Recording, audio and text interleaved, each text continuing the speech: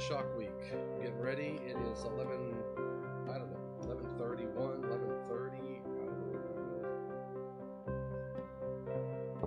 But as usual, half hour early, um, getting things ready. Appreciate everybody, um, anybody out there who's dialing in, taking a look at things. Um, I've just got to get some things working here. We're going to be talking safety by design today. So I'm pretty excited about it. I like talking about uh, designing safety into the system as opposed to um, after the fact. I get phone calls, and uh, after doing some educational programs, I'll have people say, uh, "Hey, I like that idea. How do I get that involved with my facility?" And the questions after the fact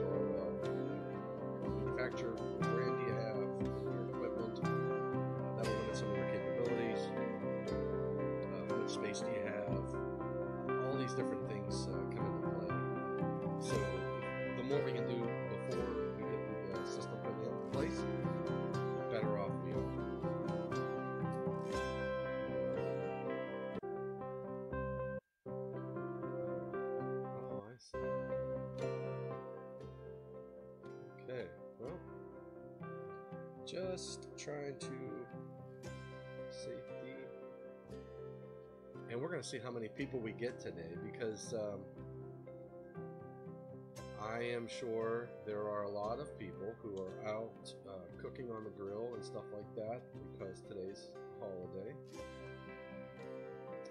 Uh, I elected to um, at least visit with you for two hours today to talk safety by design, and we'll see how many um, how many people we get uh, engaged today.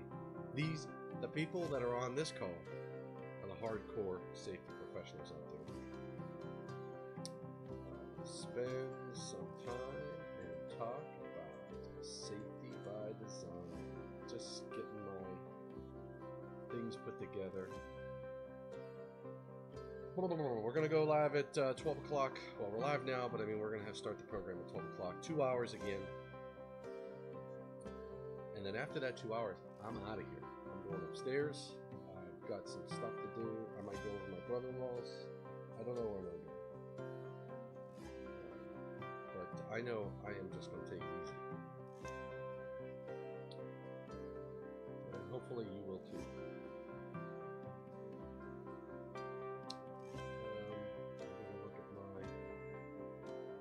Stream. See how many people we've got. Two people out there. That's about it. See, two hardcore people. Hey, early birds. Five people. Hey. Good to see you, David.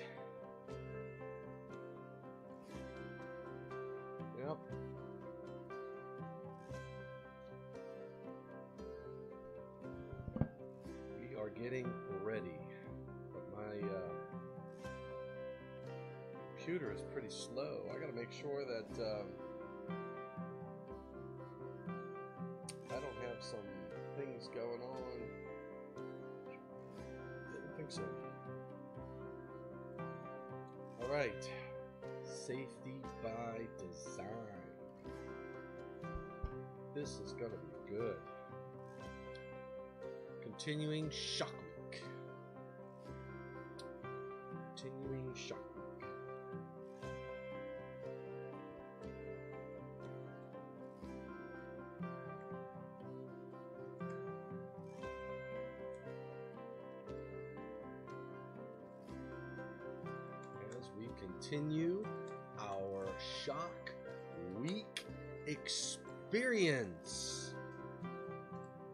Jimi Hendrix had the uh, Jimi Hendrix experience. Well, Tom Domitrovich has the Shock Week experience. Not quite uh, like Jimi Hendrix experience, but um, you know what? We're up there. Hey! Ah, no, you know what? That is not me playing, Nihad. I, um, I downloaded something from, uh, from what do you call it? Um, YouTube has some free stuff, and I decided to at least play that while we were starting off because I needed something in the background. All right, so we are live. I got my post for LinkedIn ready. I got my live on Facebook ready. I got the title in to share on my timeline. Stream health looks good. Um, yep, stream health looks really good. We got you know, the two the, the the diehards here. We got Dave Englehart, David Englehart, and we've got Nihad. David, what uh, what type of uh, weather are you getting down in Florida? Hey, Costa Rica! Happy Fourth! Absolutely. We got Costa Rica represented in the house. What kind of weather you got going on in Costa Rica? And what do you guys got planned for the weekend? Cooking out? I mean, what are you doing online right now? Can't hear me well? Well, let's see if we can change that. I gotta turn up the turn up the volume, turn up the volume, dance, dance. All right, so I am a little weak here, aren't I? Let's move this forward a little bit. I don't know why. I don't know why sometimes I get. Hold on, let me just play with my settings a little bit. So I can um, put in the reverb. Let me find out where I'm at. So if I do this, I get a little bit. 6, 7, 8, 9, 10, 11, 12, 14. Nihad, Nihad El El Sharif. Welcome, Welcome to, to Shock Week. Well, I don't know if that's that's still I'm still a little bit weak over here. Let's turn that up. Um my gain is okay. I don't want to turn the gain up too much. Um let's try this one. What's this do? That doesn't do anything. That doesn't do anything. This doesn't do anything. Man, I don't know what. Nope. Oh, I just. Partially cloudy and rainy, about 72 degrees down in Diego, Coronado, down in uh, Costa Rica. Muy bien. Hot and humid. David Engelhart is hot and humid. Well, I am going to move the microphone a little bit. I'm gonna move this a little bit closer to me because I don't know why you guys can't hear me. And even man, I'm the closer. All right, I don't know. I don't know what's going on, Nihad. Uh, let's move this up. I wonder. I am going to.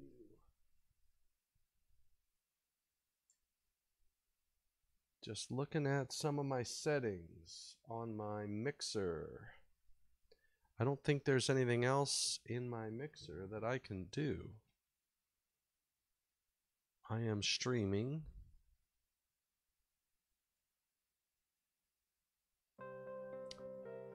Hmm, I'm going to close that. I remember yesterday, I think it was yesterday, I was weak and then all of a sudden it was strong, so I'm not sure what I did differently there. Um, let me look at my speakers. Look good. Hmm. My main volume is up. My my channel volume. I got my that that that. Hmm. Well.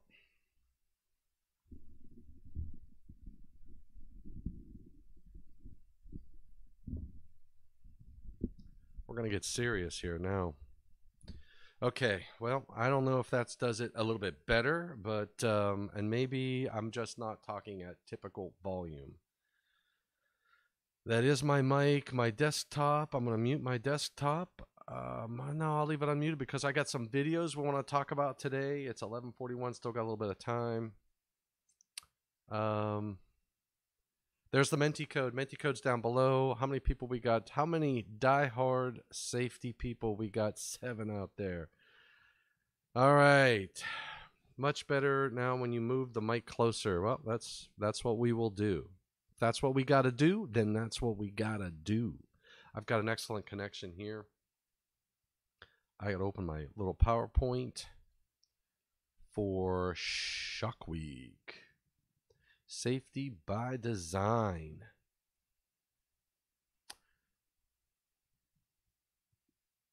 All right. So let's see. We got nice and sunny in Saskatoon, 63. Beautiful. It's beautiful outside here too in West by God, Virginia. Um, uh, really nice and uh, nice and cool outside. So we're going to have a good day. Hopefully, everybody out there is going to have a good day as uh, we get people to dial in.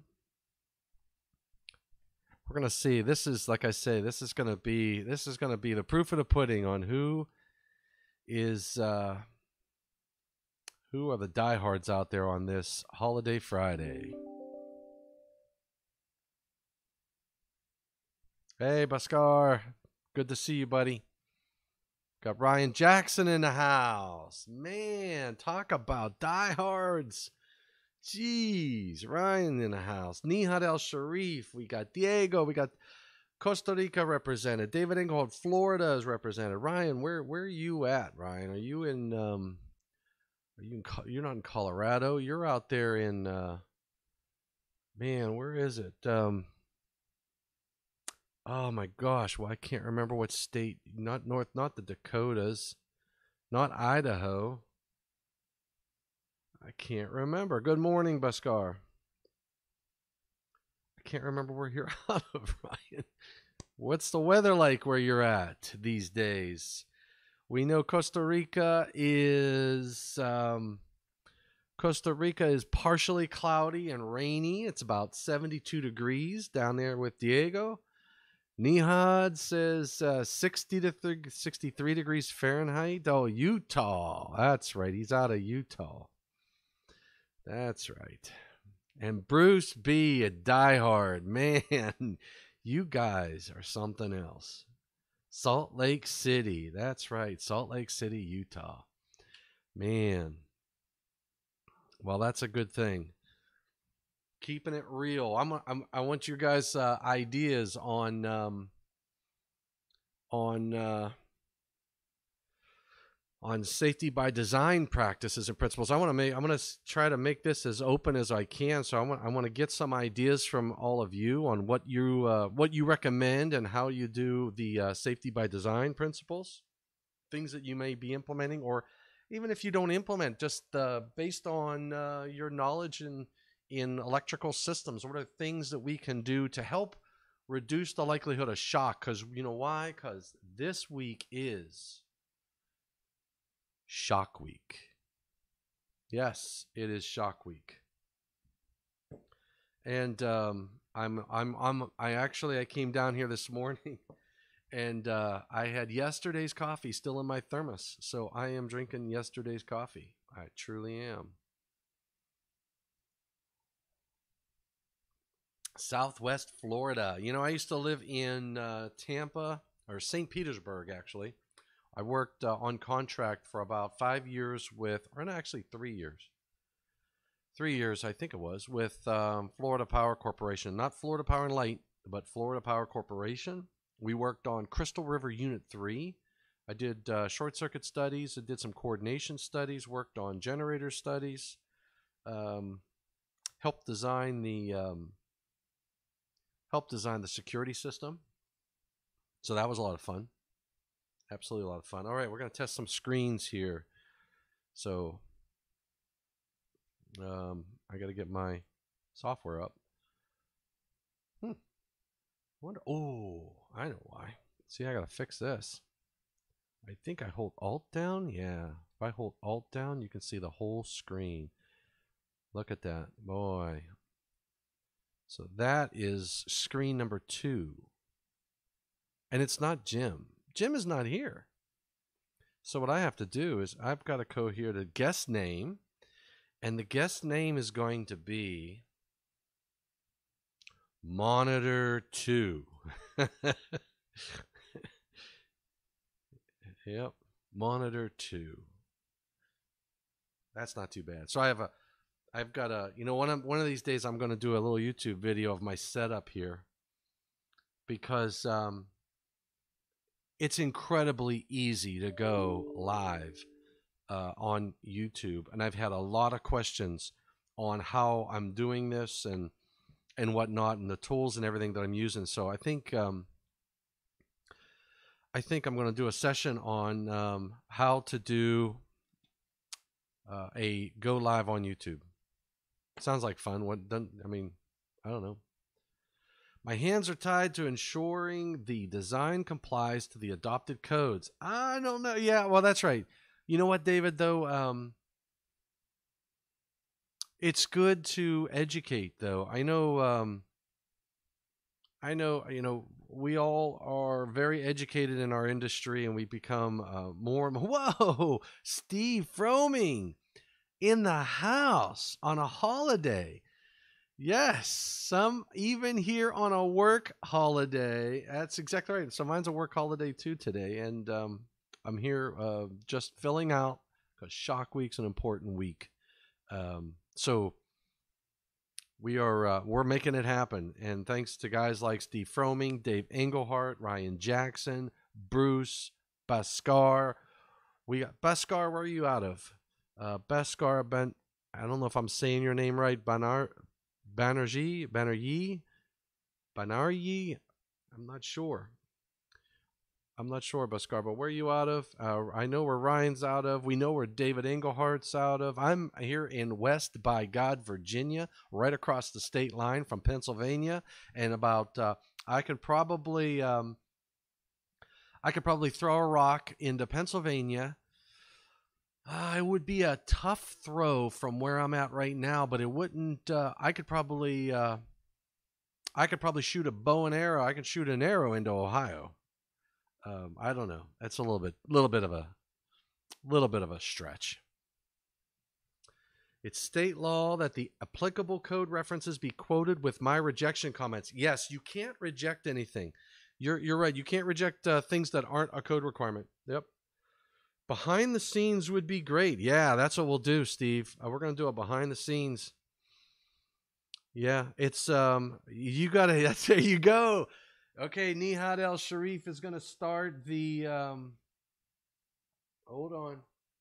He's going to start the. Uh, Nihad El Sharif is going to start the Canadian. Technical, Technical Social Distancing Network. That's just wrong. All right. Because. Uh, we are in the middle of Shock, Shock Week.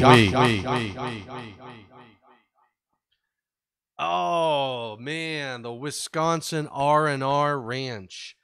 Okay, Western section. If anybody on this, there's only twelve of us. This is going to be a really light day. I'm not anticipating this. This is going to be a. I, I I'm I'm hoping that we have a very um, informal. You notice I don't even have my Eaton shirt on. I've got an Eaton mug. I've got my Eaton mug, but you know what's in here? Yesterday's coffee. There's even a there's even a line inside. Oh, that is disgusting. Um, I'm drinking yesterday's coffee out of my out of my thermos. Um, I've got water here just in case there was some mold. I got some water. Um, but uh, today's going to be a, a, pretty informal day. I'm hoping that we have a good discussion. I'm, I want to see because the people that are on this call today are the hardcore safety guys because remember that today's a holiday and we should be outside enjoying the sun getting a tan maybe swimming in the pool David Dave uh, David Englehart. You're he's in Florida for God's sakes. He's probably be on the ocean, um, enjoying life and all that good stuff. Uh, Nihad Al Sharif. It's beautiful weather up in uh, up in his world in Canada and Saskatoon, and um, and you know he's going to start the uh, the the technical social distancing network. The uh, hey Nihad, it's not TSND, not North Dakota. It's DN, TSDN, man. Technical Social Distancing Network. Oh my gosh, Nihad. You blew it, buddy. That's it. You're cut off. Oh man. What time is it? 11:54.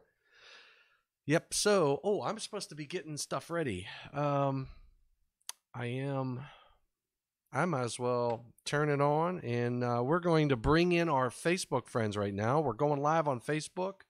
So for those of us on those of you out there, we are already having a blast on in YouTube land. Uh, we're bringing in the Facebook uh, fold. I'm going to uh, throw this video out on my LinkedIn site. So everybody out there, all of my my cohorts in crime at uh, at Eaton are probably sitting on their boat, looking at their phone, going, "Holy crap! Tom is going live again. It's insane."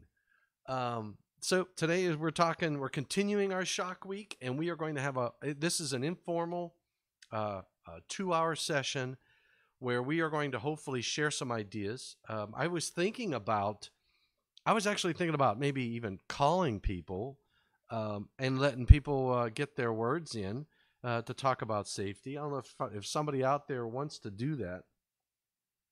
Um, you can send me an email if you want to get online and go live with me.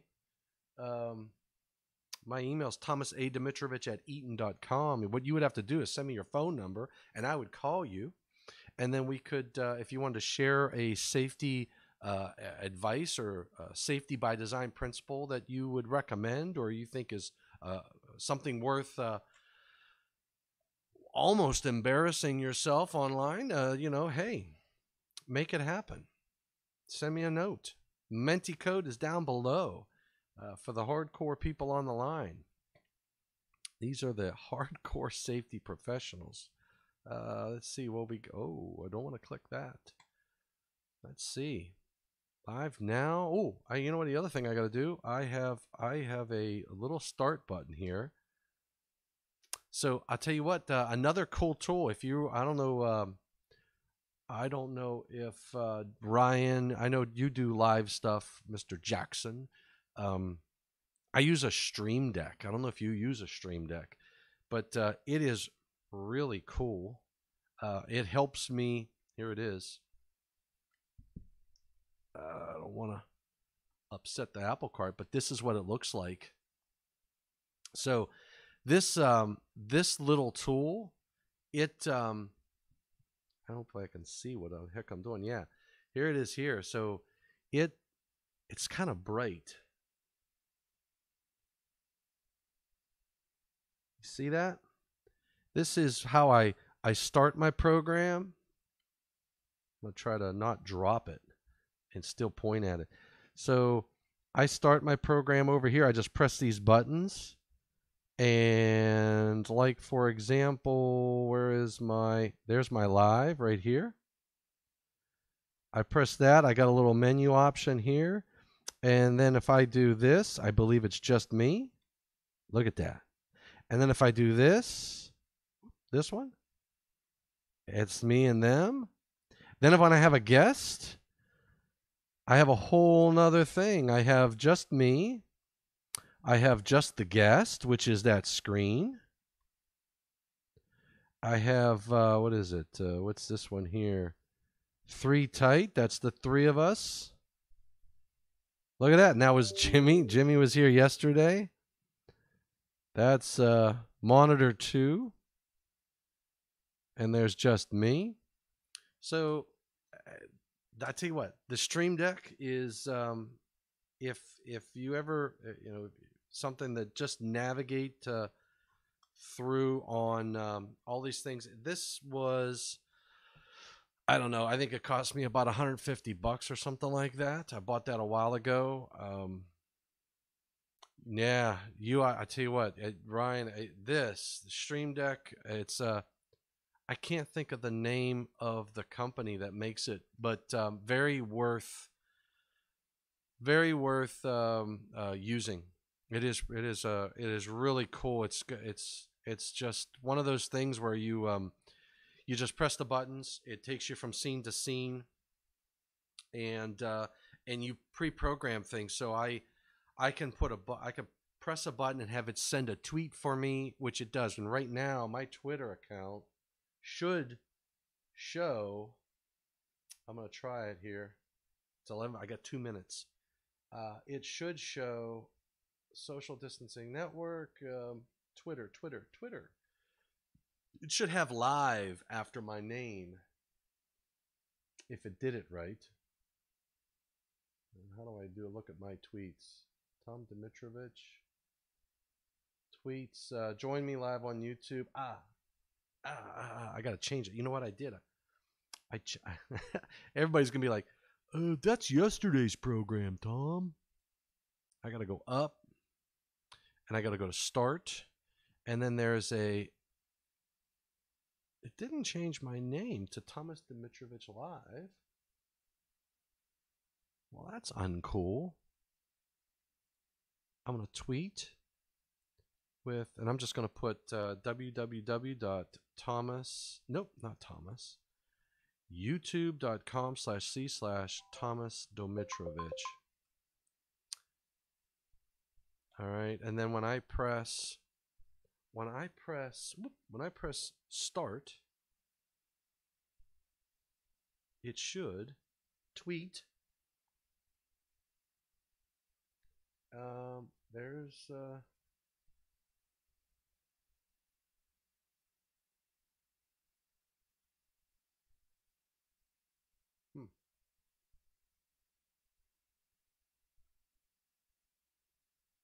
don't know, but it's supposed to tweet. It should tweet profile. That was yesterday. Tweets and replies. Catch me live on YouTube. It's supposed to tweet, but it, I don't know if it tweeted or not. Change. It's supposed to change my Twitter name to Tho- Thomas Domitrovich dash live and a dot, but it didn't do that. Well, I don't know. I got to have something wrong on here, but or maybe it did it and I just don't know it. But that's okay because it did it yesterday. But anyway, stream the Stream Deck is a really cool tool to um, to use. If you um, uh, there's a lot of different things that it can do, and there's actually uh, I'll show you on my screen. There's the um, there's one with me. So this is the Stream Deck app, and um, hope it's 1201. Heck with that we are going to go into our program today, which is live topic. Welcome to the continuation of Shock Week. We are finishing off this day with, um, we're finishing off this day with a uh, discussion around safety by design. So, I got to turn all of these these Menti codes off because we are beyond the Menti code stage. We are now into our program, and we are going to be talking about. Um, we're going to be talking about uh, safety by design principles, and this is a this is it's a holiday weekend. We're right here in um, um, we're right here in uh, Fourth of July weekend, and and those of you who are online right now are hardcore people because you should be outside enjoying the sun and enjoying uh, a hamburger or a hot dog right now. But instead, you are here talking about safety by design, and I really appreciate your commitment to electrical safety uh, because I'm here too. Um, all right, Steve Froming, birthday's coming early. XSplit broadcast on my second monitor to change screens and things. Oh, XSplit. Yeah, you ought to try. I'm, i might take a look at XSplit uh, too. But um, uh, remember to hit the like button. Remember to you know subscribe to my YouTube channel, please. I, I think uh, I'm gonna be I'm going to be pro- doing some more recordings as well because I'm doing more videos uh, internally for some of my own salespeople, and I'm going to try to repurpose a lot of that and put it out there online. So yes, PDH. Bhavish Modi, there is PDH hours uh, associated with this. You grab that Menti code 776482. So go to www.menti.com um, and go and type in 776482. Enter your information. And remember, at the end, we do the same doggone thing. Okay, so uh, let's talk about safety by design because we're continuing Shock Week. And let's talk first a little bit about what did we learn over this past week of Shock Week.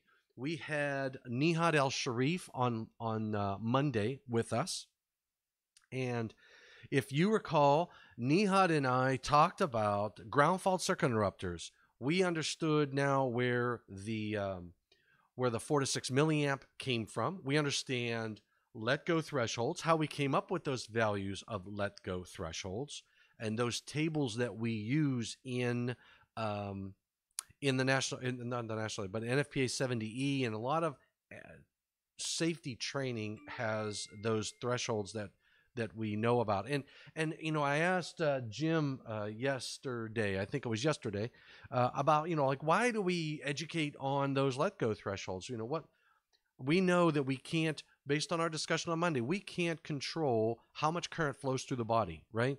We can control, um, possibly, can control what portion of the body uh, that the current flows through.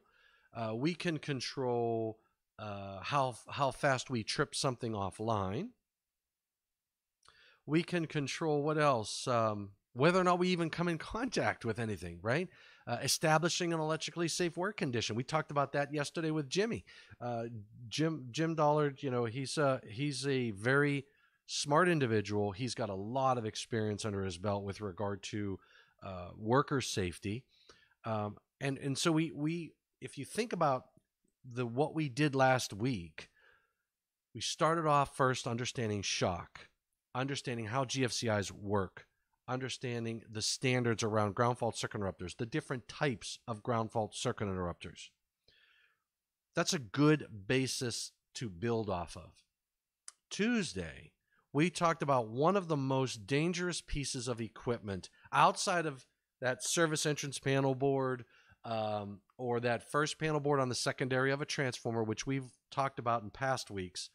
Uh, but we talked about the motor control center with Matt Hussey.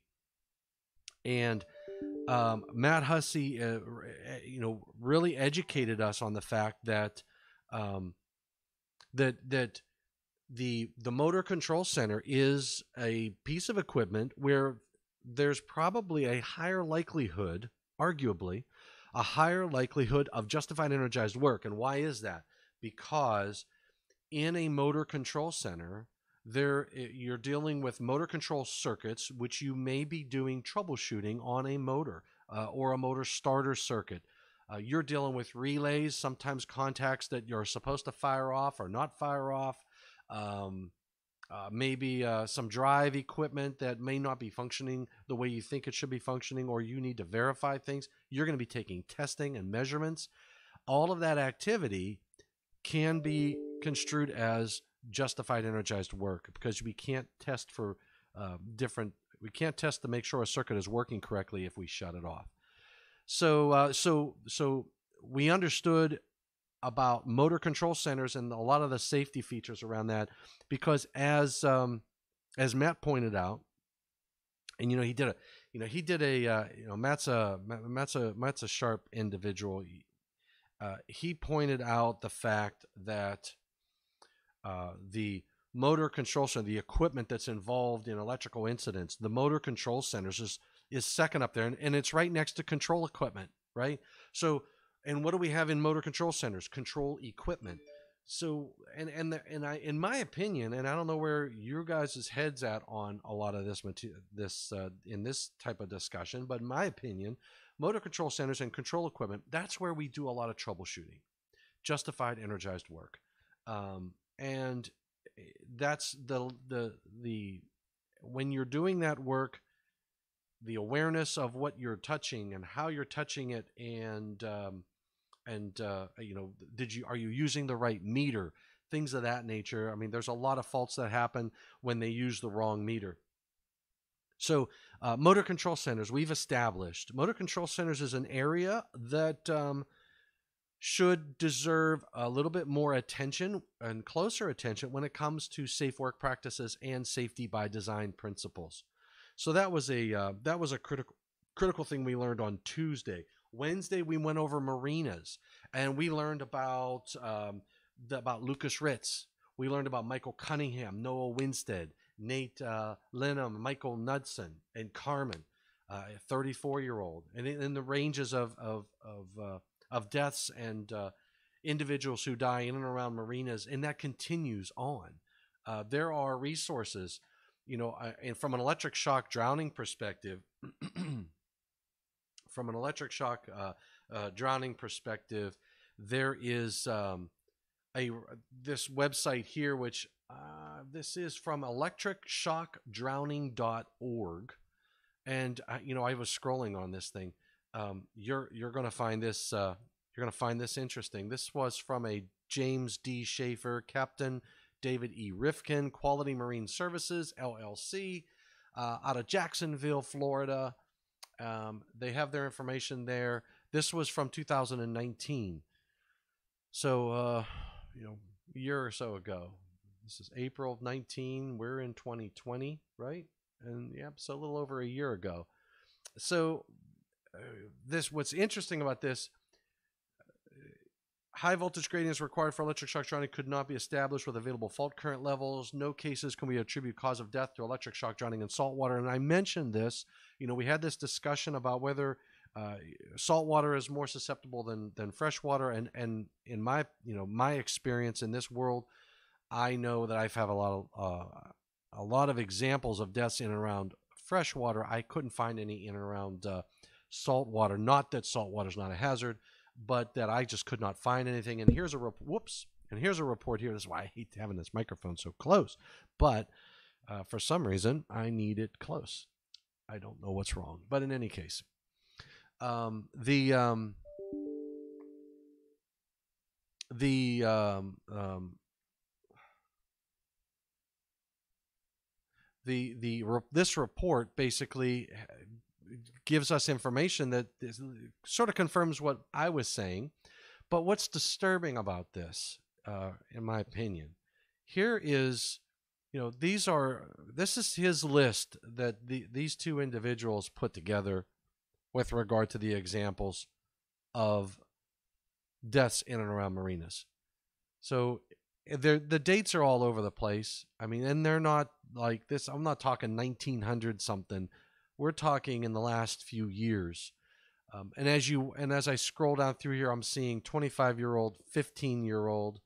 Uh, three children were killed in a pool at a water park. Uh, and then uh, the park manager and his son jumped in to help the three children. They all died. And you know, that's what goes on in around these marinas.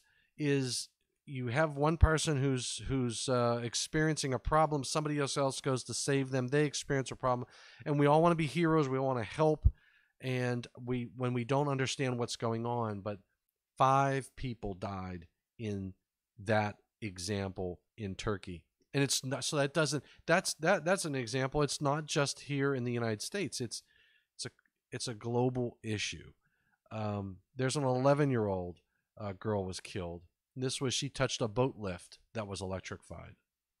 Right? So there's a 19 year old boy, a 23 year old boy, and this list. Look where I'm at on this. I, I'm I'm I'm pretty high up in this document.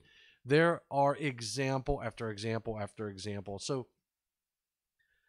you know it's this is one of those things that you know marinas may have when that marina was brand new it may have been perfect it may have been the picture of safety. But then as time goes on, because of lack of maintenance, uh, things go downhill. Uh, but in any case, and maybe when it was brand new, it wasn't the picture of maintenance. I I got on the roof one time. Uh, we were I was learning about photovoltaic systems, and what I've learned in my career is that when I want to learn about uh, photovoltaic systems, if I want to uh, learn about a new topic, I do an educational program. Uh, d- develop the slide decks, and when you're putting, and Ryan, you know this, and and other people who educate, there's a lot of people on this uh, on this in you know out there in YouTube land that uh, do educations. And what we do whenever we're putting together an educational material we want to be accurate in what we're talking about. We want to I call it tell the story right? We learn from each other not because we're sitting there and I'm telling you to read this chapter that chapter this chapter. We're going to learn from each other uh, the way we've learned and handed down information for years and that is telling stories about um, scenarios and things that went wrong or things that went well, how we did something, how we do things.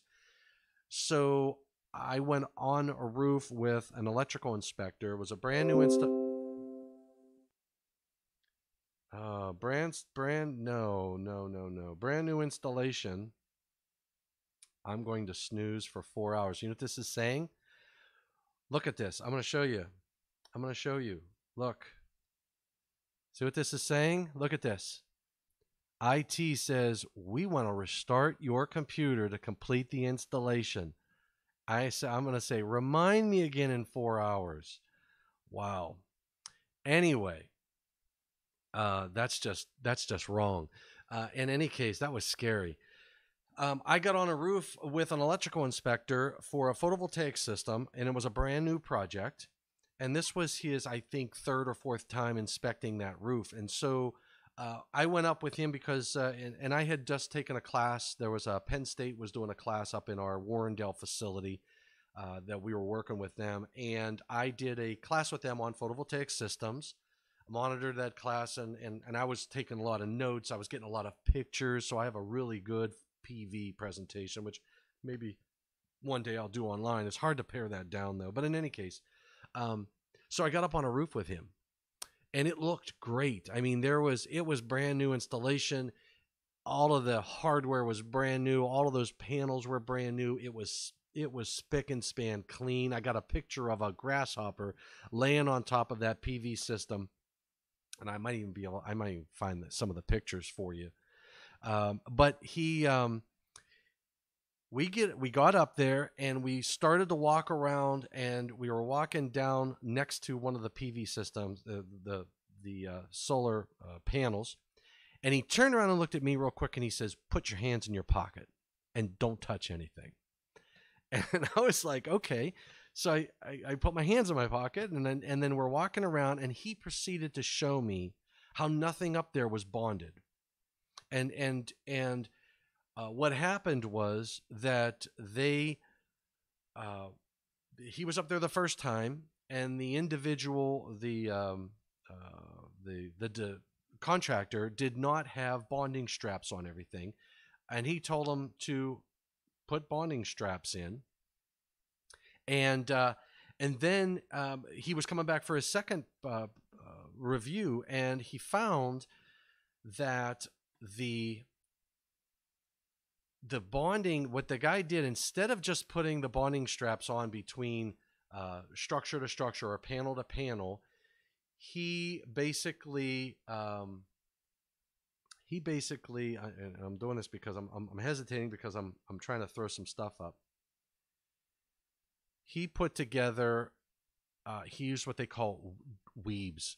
I I I was referring to them as dweebs, but uh, they're actually weebs and um, he was. Um, that's not the right one. So here's a here's a this these were the panels, and I think this is the one. I'm almost positive that's the one. Uh, we were looking at how the the wires and everything were tucked in, and all that stuff looked good. I was looking at these panels on the on the on the ground. They um, I, I, don't know how many how many of you do photovoltaic systems, but when you look at this, this pan was resting right on the rubber roof, which he looked at that and said, "Well, that's wrong because he's jeopardizing the uh, the roof on this uh, on this." And he told told the contractor uh, this uh, about that before. And then we were looking at uh, all of the different, uh, you know, connection points, and I think this might be the whoop. Nope, this might that might have been the picture. Hold on, I got to figure out how to how to find the right photo for all of you because uh, he showed me this and then I understood what he was talking about. But um, yeah, it's right here. How do I rotate? Here we go. I'm to rotate this. And then how do I zoom? Here we go. There's the plus. All right, there we go. You see this right here is where I'm looking. Um, this underneath here, they he the, this contractor instead of putting the daisy chains on each of these, he used what they call weebs or something like that, or I call them dweebs, but I don't think that's right. And you see that little dot right there? That dot is supposed to be under the panels, digging into the metal to establish a bond be from one panel to the next. Because what this thing's doing up here, these are these are like um, uh, that, that, that aluminum that, that you need to scratch the surface to be able to get a good bond. None of the weebs that were used were installed correctly. And none of that material, um, none of the uh, installation was actually bonded. Um, and he, and once he started, and we were going, and he was showing me those uh, those example after example after example of uh, how that technology was uh, not quite cutting it for him. And then there's another one here. I'll show you uh, a picture of one of the connectors. Where is it at? One of the connectors was was not even um, was not even installed uh, on the um, on the on the system. It was just basically sitting there as a as a connection. And, and oh, where is it? it was just resting on top of the uh, of the oh man i can't find it but here here's where he was he was explaining to me uh, about how uh, the the the um, the PV when you set it on a roof uh, well, from a design perspective you've got to ensure the integrity of the um, of of the roof. And the they had these cement blocks were and and these these clips here were right on top of the roof which you know that that system like vibrates because of wind or may shift a little bit because of wind and they were rubbing and on the roof and that would violate or void the warranty of the roof for this customer uh, in addition, none of some of these supports, not, not none of them, but some of those supports weren't even in the right location. So um, there's a couple from a safety by design perspective. Uh, you have to understand, in my opinion, you have to understand the technologies that you're using when you're employing them, and then make sure that uh, that the installers and, and everybody who's working to install that uh, equipment in that job site are doing that uh, correctly. So, um, and you can tell how slow my computer is uh, uh, right now. I'm getting a new computer. It's not gonna. It's gonna take maybe three months for me to get it, but it's like uh, it's it's a machine. It's a screaming machine. So in any case, um, we uh, we learned a lot about uh, uh, the unique installations, and and I and I use marinas as a unique installation, but photovoltaic systems, wind systems, uh, every system is unique in its own way. So we have to just remember um, that uh, um, that when we design systems and we put things together, simple is better. And think about uh, the electrical worker in in your in the process of your design. Another thing that we learned last week was that I believe it's uh, we saw some percentages, right? We saw that about 98% of uh, fatal occupational uh, electrical injuries are electrical shock injuries.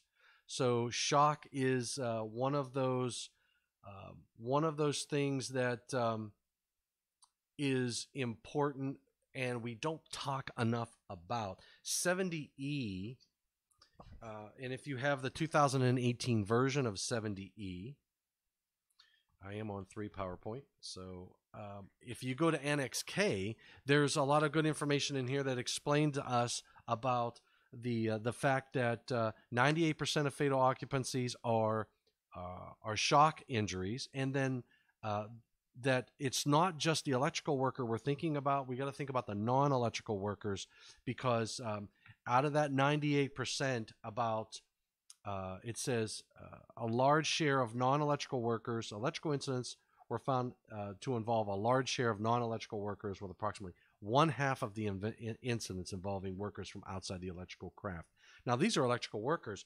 We're not even really talking about the um, those who are residing in the in the occupancies or the structures that we're designing and putting together.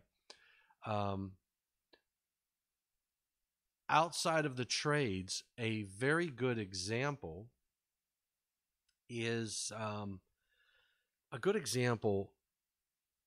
Um, I'm hesitating because um, I, I used this this example a while ago. I tried to get a change around metal framing in the National Electrical Code. I failed twice so far and um, I've used uh, I've used this gentleman's name before in my examples because uh, Rafael Ugalde is uh, or was um, an individual who was doing his job one day, and what he did was basically went to a uh, a house to deliver a dryer, I believe it was. So he was an appliance delivery guy uh, I'm not sure what where he who he worked for, but he was uh, delivering a um, a dryer to a house. He went into the laundry room, he installed the dryer, and then when he pushed the vent through the wall, he was electrocuted. And what they found was that the frame of the house, which was metal in, in, in construction, was energized because of a faulty wire. So, uh, and actually, what, what happened was that they had a drywall screw, which is only a, a that's about a one inch drywall screw, penetrated a um, NM wire that was in the metal framing, and it um, uh, basically energized the frame. And what happened was Rinaldi, uh, and I have the link to this down below uh, for, for my YouTube channel in this, and I also have a link to this in my resource, uh, which I'll show you in a few seconds here on my LinkedIn site. But Mr. Rinaldi uh, did not expect to not to re- return home that day. He was just delivering a dryer, and when he installed and pushed the um, when he pushed that vent through the wall, it became in contact with the with the metal framing, and then he was electrocuted. There was no GFCI on that circuit because it wasn't required by the National Electrical Code. Um, and it was a part of the home run circuit, which, even if it was a part of the National Electrical Code, it probably would not have been protected anyway. Uh, they had some pictures, and, and they used to have a video. See this? There's a link here. Uh, click Orlando problem solvers, and and that no longer works. But I'll tell you what that video showed they had a contractor who was in the house with the reporters and, and probably lawyers. And he took a voltmeter and he opened up the medicine cabinet in a bathroom. And he opened that cabinet up. He put the one lead on the bolt that was on the medicine cabinet. He put the other lead on the faucet, which we know faucets, you know, connects to the pipes. It's all grounded. Obviously, copper piping. And he had 120 volts and he said and and he showed the meter and he says i have a 100 he says don't don't touch anything because i have 120 volts. And that reminded me about that inspector on the pv on that roof that i was in he told me to put my hands in my pocket because he was uh, nervous about what may have been energized and uh, not clearing uh, you know just no potential. I could complete a circuit at that point if i touched two panels. Um, so in any case uh, this now, the discussion at code-making Panel 2 at the time was that well, it was a um, it was a misuse or a, a, that that wire apparently they didn't use the grommet uh, that was supposed to provide the distances uh, because there's there's requirements that uh, when you're going through metal framing, etc. But my response to that was ground fault circuit interrupters aren't needed because you did everything right. Think about it. A ground fault circuit interrupter is not needed if I don't drop my appliance in the water. If I don't accidentally come in contact with an energized part, if I don't damage my extension cord, if I don't damage the cord on my appliance, if I replace my appliances uh, before they reach their end of life and just go buy a new one say, I'm going to get rid of this because you know what? Eventually it might become a shock hazard. We just don't do that, right? And Mr. And Mr. Rafael Ugalde did not expect what he received that day, and nor did the electrical contractor. The electrical contractor didn't put the drywall in, right? You'll have many trades come in and around residential homes and in commercial buildings, and individuals outside of the electrical trade can uh, experience shock, and we have to remember, and that's why Annex K reminds us that. We had that discussion with Jimmy Dollard we had that discussion with um, with with uh, with Mr. Uh,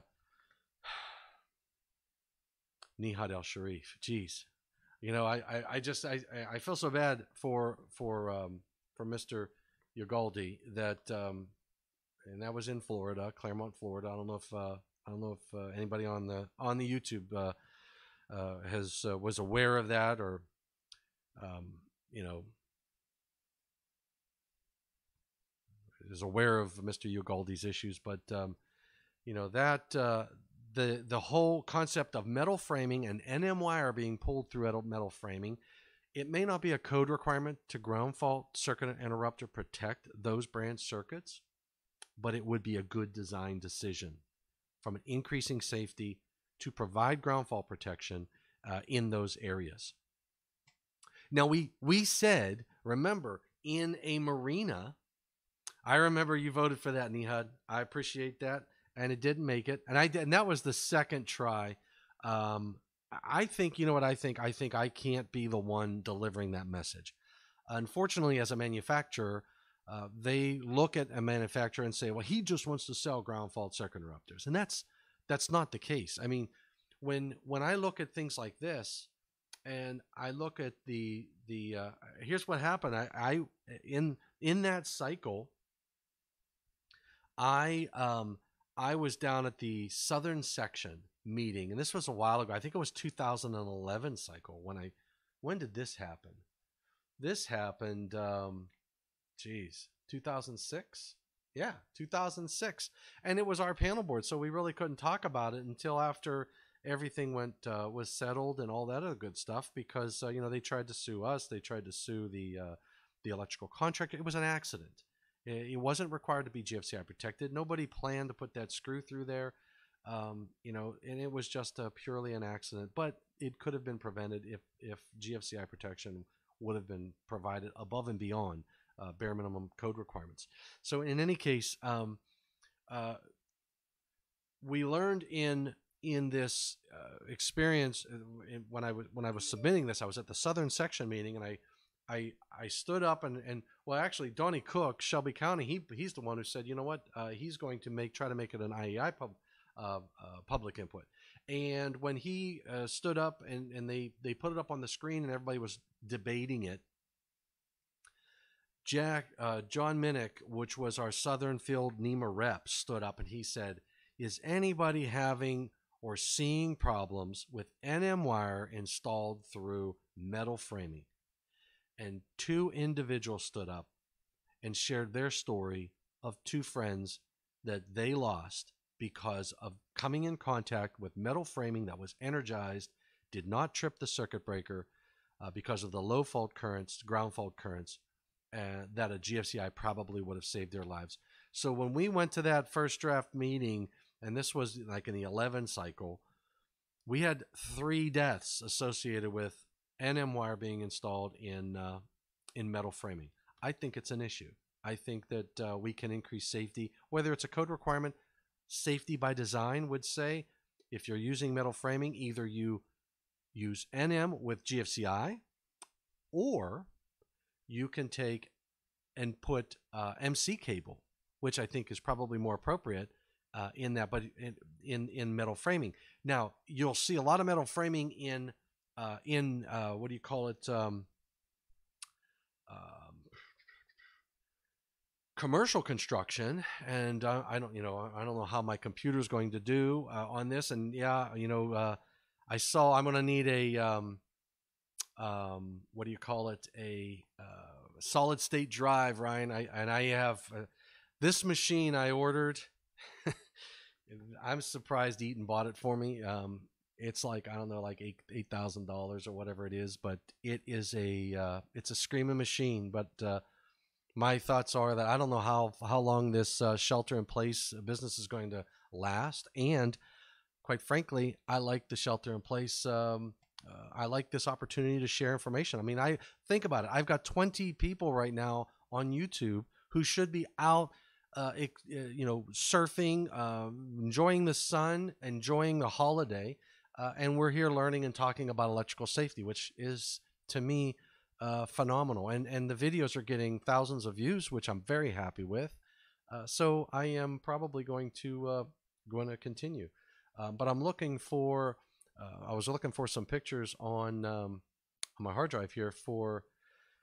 what, what when you get into commercial construction, you will typically see uh, that MC cable used quite a bit because of the fact that um, that uh, they use metal framing, and and that's just like the decision of choice in uh, in in that type of construction. So um, here is uh, show you how how slow my computer is right now. I don't know if you uh, if it even switched yet, but um, you know, here's an example of the of MC cable. You'll see a lot of metal framing uh, in this in this uh, example here. I'm just going to give it to you closer. Um, but that's all. All of your all of your your your conductors got a. It's protected. Now, not that it is impossible for. Um, not that it's impossible for uh, for something to pe- penetrate this, but uh, a drywall screw will probably have a little bit more difficult of a time uh, penetrating this type of, uh, of wiring method.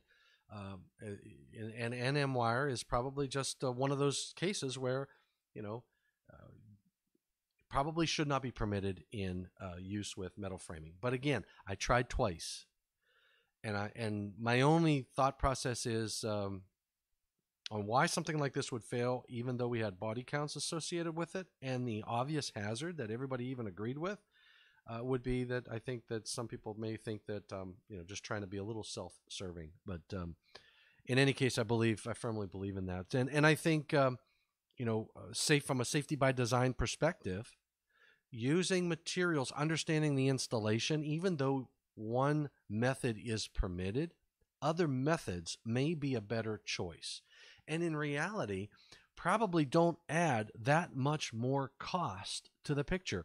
I think it was John McCamish. Uh, John McCamish is um, uh, was on panel two with me, and we were talking about arc fault circuit interrupters, and that you know there's an exception or one of the options in um, in 210.12 says uh, that you can use an OBC AFCI downstream of a thermomagnetic circuit, or yeah, thermomagnetic circuit breaker uh, on the home run circuit as long as the home run circuit is protected by uh, it says metal raceway, metal raceways, metal wireways, metal auxiliary gutters, or type MC or AC cable meeting the applicable requirements of 250.118. So these types of conductors can offer a protection in that home run circuit. And John McCamish noted, he said, look, in in in the installation, this conductor is really not much more expensive at all over top of NM wire. So um, it's a it's it's a viable solution, a good option that you might want to employ in your safety by design principles and practices. Just saying. Um, all right. Let's take a look. And the other thing we talked about. So we talked about the the the thresholds, and I'll tell you what, I learned some stuff with Nihad. You know, um, when w- working together, I'm just I'm just going to look through um, some of the comments here. I fixed many of those cords before they started their day. Also, many times the carpenter saw saws would trip the GFC GFIs early in the morning. Yes, um, I would run their saws for 10 seconds on a non-GFI circuit. There you go, Bruce. Uh, electro electrical contracting work many years ago. yeah, I see what he's doing, trying to get those uh, those. You got a word limit in here. Um, all right, Nihad, I voted for. Thank you, Nihad. I'm just looking at some of these comments because share share your thoughts, your ideas on safety by design. Um, uh, we just skip the MC stuff and go right to EMT. Yeah, that's true, Don. Um, EMT is uh, is a is a is a good option as well. But we lo- we learned uh, on Monday about this uh, curve, which I thought was um, you know, uh, we learned together, right? So uh, Nihad taught me some things, and, and I think we teach each other each other things. Um, what I used to say to people was the four to six milliamps is helps to prevent your heart from going into defib.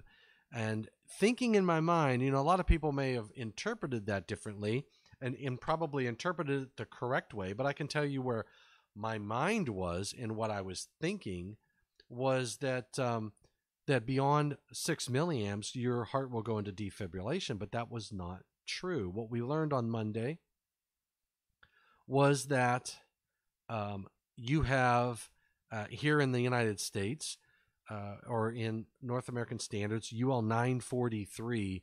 Uh, a listed device uses the threshold of four to six milliamps, which is below what they call the let go uh, involuntary muscular contraction uh, threshold. And when you get to 30 milliamps, which is the European standards, they they uh, will typically trip and possibly go into the area of involuntary muscle contraction, uh, but they stay away from um, the danger zone, which is ventricular fibril- fibrillation. So um, it's important to understand you know some of these thresholds because they help us understand uh, the solutions that we're uh, installing and what they can and can't do. Jim Dollard helped us understand what risk was, that we all assume a level of risk. I ride a motorcycle. I will definitely wear my helmet. I may not have my my leathers on. I may not have my jacket on. In fact, I ran to the store the other day, needed to get um, needed to get a uh, uh, what was it? Man, I think it was a bolt. I was working on my, in my garage on some. Um, I was mounting my saw to the uh, to a new stand that I built. My chop saw. I got a miter station now, and um, I needed a bolt, so I jumped on my bike. I threw my helmet on, but I had I had a t-shirt and I had my jeans on, and and I ran to the store. Uh, I accepted a level of risk. Coming back, I thought, eh, I was probably stupid. You know, uh, we all accept some level of risk in our lives. The moment we get into a car and drive to work, even putting your seatbelt on, we've accepted a level of risk. A seatbelt may not save your life. It, um, a, a, fall harness may not save your life. It'll reduce the chances, reduce the likelihood. It may re- limit the amount of uh, damage that you have to your body, but it's not a guarantee that if you're in an accident that you are going to walk away from that accident. Um, we all assume a level of risk, uh, and which is a combination of the likelihood of occurrence of injury to damage or health and severity. And why is that important in safety by design? Why would I want to understand risk in from a safety by design perspective? Why would I want to understand risk assessments? Is because I need to, as a design engineer, as a design build electrical contractor, uh, as whoever it is that you, you know, you could be the owner hiring somebody and telling them this is what I want, you are going to understand what are the activities that could possibly happen. what are the hazards associated with uh, the work in hand or the installation. If I'm doing a, a, motor control center installation, I may ask for certain things that I might not ask for if I'm installing the residential panel board in my house. Um, so you got to make decisions based upon risk and risk assessments, understanding the, how an electrical workers will be working on this equipment or how you will be interacting with the equipment. Uh, if I have um, an area in my house, which I do, I have a Marshall half stack. I've got a Fender twin reverb. I've got another little Marshall um, um, uh, uh, amplifier over there. I've got a keyboard. Um, I've got a lot of these different things that uh, that are, are, appliance related, and you know my my Marshall half stack gets a workout. You know I've blown some fuses in that. I've uh, made some neighbors mad. Um, I've made my wife leave the house a couple times because uh, you know it just get it's going to get loud. It's going to get loud. Um, but you know, I got a lot of cords and a lot of extensions uh, laying on the ground and, and routed around. I GFCI protected all of my circuits in my house. Um, it has saved me a couple times. It saved, uh, I believe, my wife a couple times. I know uh, she was outside. Uh, she was outside using the hedge trimmers. True story. She'll tell you it. Outside using the hedge trimmers, she came over to me and said, and this is shortly after I changed all of the breakers in the house because we had water damage in the house here. And uh, I had like 48,000 of gallons of water come down through um, while when we first moved down to Missouri. And uh, we replaced the panel board. I had two load centers. I now have a 42 circuit panel board in there with uh, loaded up. Um, I, they had to replace the hot water tanks. They wouldn't replace. State Farm said we're not going to touch the lighting fixtures. I called uh, my buddy Dave Mercier at Southwire, uh, and he said, "You know what? Water just came down through. You don't have, don't have to worry about the NM wire uh, as long as it wasn't submerged and and wicked up in there. It was just a you know over top of the insulation." So I didn't feel too bad about the wire infrastructure, but I was concerned about the lighting. So I bought uh, GFCI breakers uh, for the entire house. My electrician called me. I was in St. Louis. He's up here, and he says, uh, he goes, Mr. Domitrovich, uh, you um, you bought the wrong circuit breakers, so I'm going to go over to Home Depot and and and get uh, thermomagnetic breakers. He says you've got these arc fault, ground fault devices, and he told me where they were only required and um, etc. And I said, no, no, no, I, I, I want you to protect the entire house with ground fault circuit interrupters, uh, all my circuits. And he said, um, he goes, well, you know, you're going to have a lot of tripping issues. And I said, Probably, and you're going to fix them, and State Farm is going to pay for them because uh, if there's problems in my wiring, then we're going to find them, and and um, you know if there's problems in the fixtures because of the water damage, we're going to find it with the GFCIs. And sure enough, I came to visit. Um, I come up to the house, and um, the guys in there were doing flooring, and uh, I, I just walked in right, and the, the one guy he's they're all they're, they're laying the hardwood floors, and he looks up to me, he says, uh, "Who are you?" And I said, uh, "I'm the owner." He goes, "Oh, you're the owner." He said, "Yeah, you must be Tom." I said, "Yep." I said, "Just you know, in town, I'm gonna you know stay up in one of the bedrooms. I brought my sleeping bag because everything was out of the house." And he goes, um, "He goes, well, you know, we're doing the floors, blah blah blah." And he goes, "You know, your electrician is really mad at you." I said, "He's mad at me. Why?" He goes, "Oh my gosh!" And he's, "Come with me." We walked down the basement. He turned the light switch on, and the lights came on, and boom, breaker tripped. He goes, "You have like five circuits in this house that won't operate." I'm like, "Well, you know, you know what that means? There's five circuits where current is going where it shouldn't go. Okay, and that's what's going on in my my mind. But everybody else was saying, "Well, that's five circuits where that freaking GFCI is causing me a headache." Well, he fixed all of the issues, and we did have damaged lights we had damaged can lights. He had to change all the can lights in this basement because these circuits would not work. He had to change the light uh, in the uh, uh, dining room because uh, it water had come down through that and it was just terrible. It, it, it degraded inside. Um, I wish we would have had some pictures of the of the problems, but he fixed all of the problems, and I've been living with GFCI in this house ever since, uh, above and beyond code requirements. But again, I want to provide that level of protection. So back to my wife. Um, I um, I'll do that, Tommy. I'll give you a call. So, and I think we talked about uh, a little bit on that as well. Um, I um, my wife was outside, and um, he was or she was uh, cutting hedges, and she took and um, come over to me in the garage, and she says, "The outlet doesn't work." And I said, "What happened?" She goes, "Well, I tripped a breaker." So I went downstairs. Sure enough, she tripped a breaker. So I went outside. And I said, "What? ha- What? What were you doing?" She goes, "I was just cutting hedges, and it tripped." And I'm thinking, "Oh man!" So she went back out again. She comes walking back over, and she says, "It tripped again." So I, I, before I went down and reset it, I said, "Show me what you're doing." And and the cord looked good. Didn't look bad at all. Um, and she showed me what she was cutting, where she was plugged in. Went back downstairs. I said, "Don't touch anything." I said, "I'm gonna go turn the breaker back on." Went back out, and I'm watching her. And she picks it up. She turns it on, and boom, it trips again. And then I see the cut in the cord. So she cut the cord, and it was it, it was uh, it was hitting ground. So I said, "Ah, you cut the cord." So I went, got a different extension cord, brought it out, laid it out. Um, then went downstairs and reset the circuit breaker. About 15 minutes later, she comes walking over. She says, "I tripped the breaker again."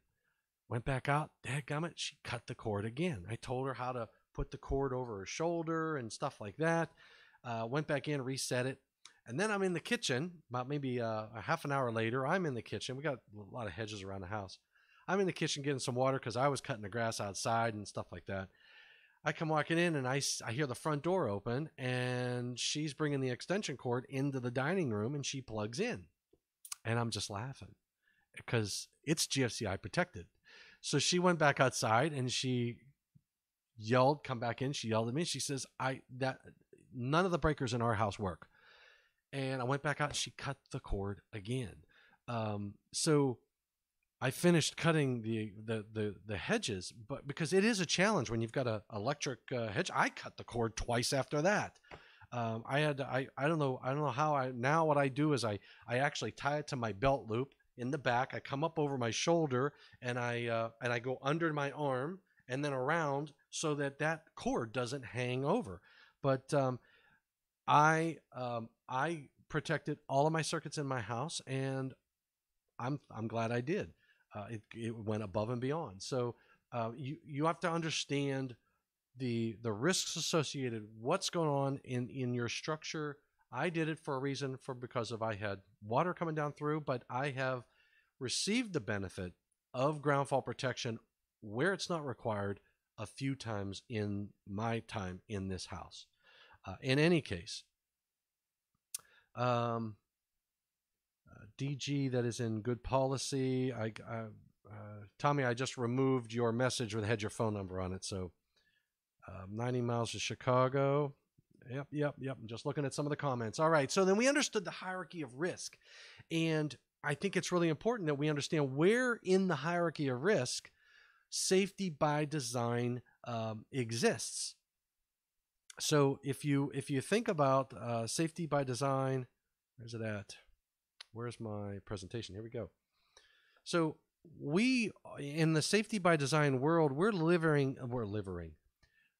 You know, if you drink too much, you hurt your liver. We're living in this portion of the triangle. We're not down in this portion of the triangle. We may be able to facilitate administrative controls. Again, administrative controls, procedures, policies, and training programs such as job briefings, lockout tagout programs, arc flash. So those are all educational stuff. In the engineering controls, physical barriers that can be removed, preventing access to live parts. Line side guards, light curtains. So we talked about line side barriers. Uh, we talked about the line side barriers that are required for service entrance equipment. That doesn't mean you can't apply line side barriers in other locations as long as it's specified. The design engineer has a lot of power. The architect and the homeowner or the the facility owner, whether it's a whether you're a large facility like DuPont or Chrysler or GM or Ford, uh, you could be a um, you could be a McDonald's or Burger King or one of those owners. Uh, you could be a uh, commercial building like Eaton. Uh, Eaton has uh, c- a lot of facilities where we house and and keep our uh, employees uh, chained to desks and uh, and we uh, no uh, you know where we where we all congregate and work and and build products and things of that nature and then we have um, we have those locations like um, from a multi dwellings etc so you could have the owner of a of a business the owner of a facility the architect who's very close to the owner the design engineer uh, making decisions to go above and beyond i always say we should not as design professionals be picking this book up when we are going to start our project. We need to understand what are the customer wants and needs. We need to understand the risks and hazards associated with the uh, the project that we're installing. We need to understand uh, possibly the risks and hazards associated with a process. For example, um, I may have an area in a facility that would be qualified or categorized as a uh, hazardous location if I know that this room over here is a hazardous location, this room is not, I may, I probably should if I can, put my electrical equipment in this room instead of that room because I will keep it out of an area that is either caustic or uh, will not only uh, not only will it uh, put that equipment in an area that is probably not conducive to uh, the cost, right? I can reduce the cost just by relocating some things, get it out of that area, but I'll reduce maintenance.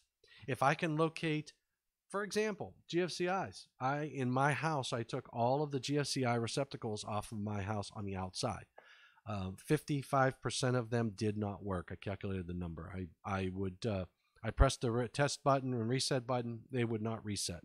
Uh, I took them out, took them apart, and they, I mean, they just, it was time it was time to replace those devices, obviously.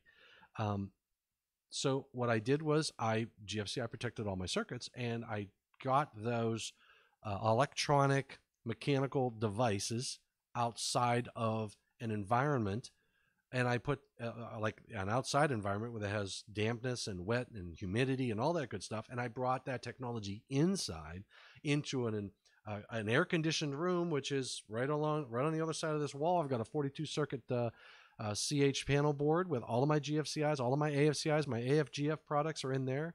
Um, I don't have any GFCI receptacles in the house anymore. Uh, I took those out, but uh, not that those are, are, are bad. I like the the point of use to be able to reset, like in a bathroom. Very convenient to be able to uh, reset in my bathroom or my kitchen. Um, uh, but in any case, you know, thinking about the location of your equipment and what you're doing what you're doing is you, I could make an argument that you're almost eliminating things like for example LED lighting think about this. LED lighting in uh, facilities that I don't have a, a, um, it'll take me longer to get a picture. Um, picture a warehouse with lighting that is really doggone high and if I'm going to replace any of those lights I'm going to have to get on a lift. Getting on a lift puts me into a i'm gonna have to i'm gonna have a harness right? I'm gonna have to get up there and i tell you what me anymore i ain't getting on lifts buddy i i have a hard time on a freaking ladder. I used to walk peaks.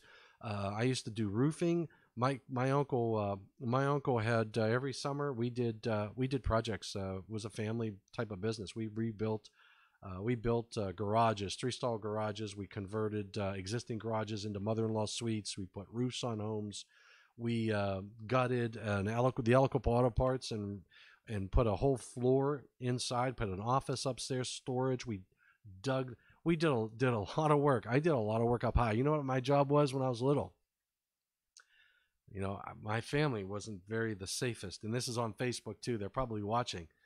I would get up on. Um, uh, they would put the scaffolding up, and I can remember uh, on uh, my cousin Johnny and my dad, my uncle Butsy. We're they're all down there watching.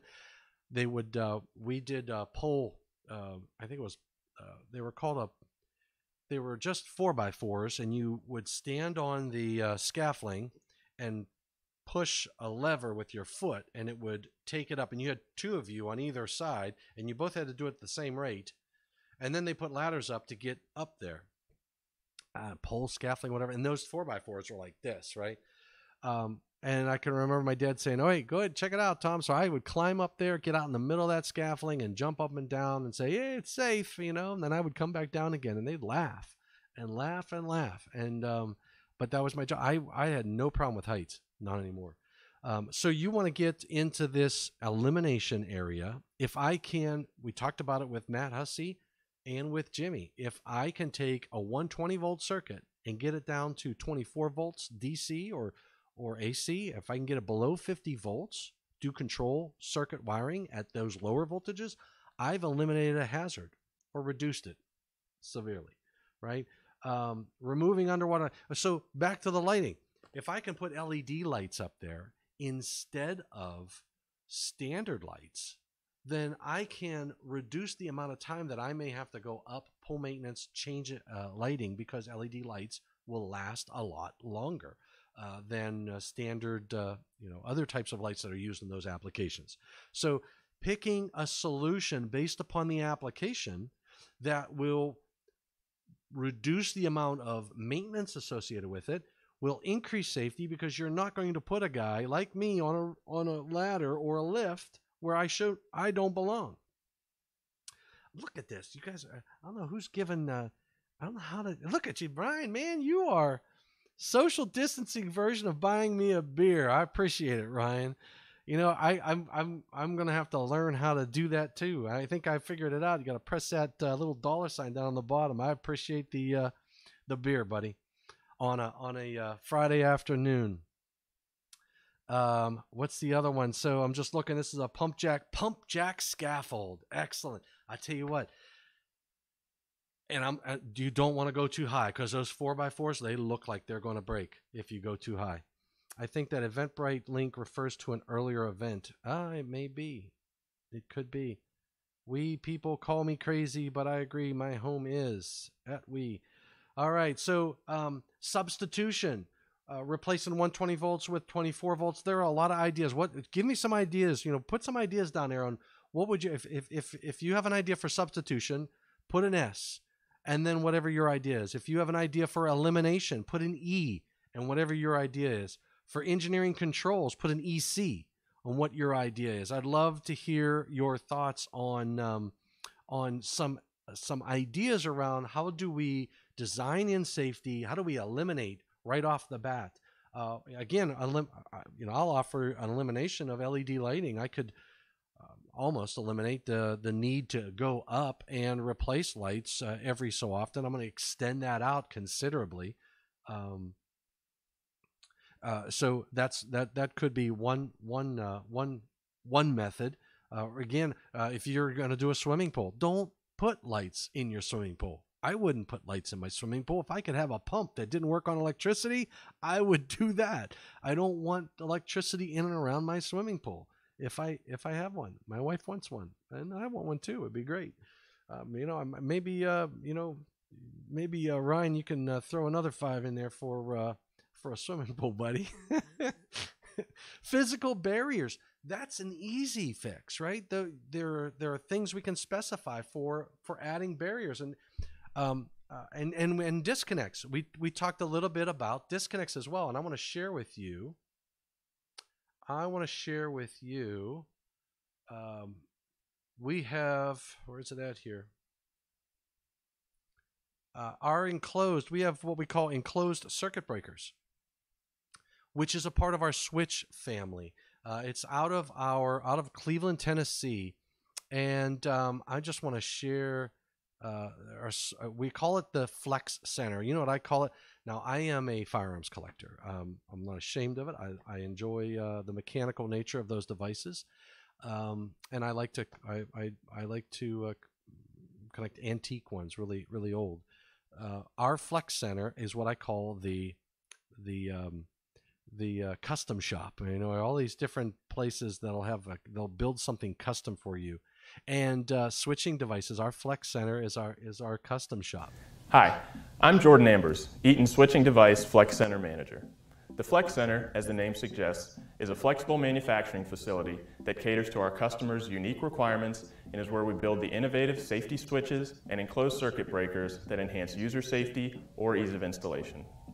Besides our special application switches, we make modifications to standard safety switches to meet specific customer demands.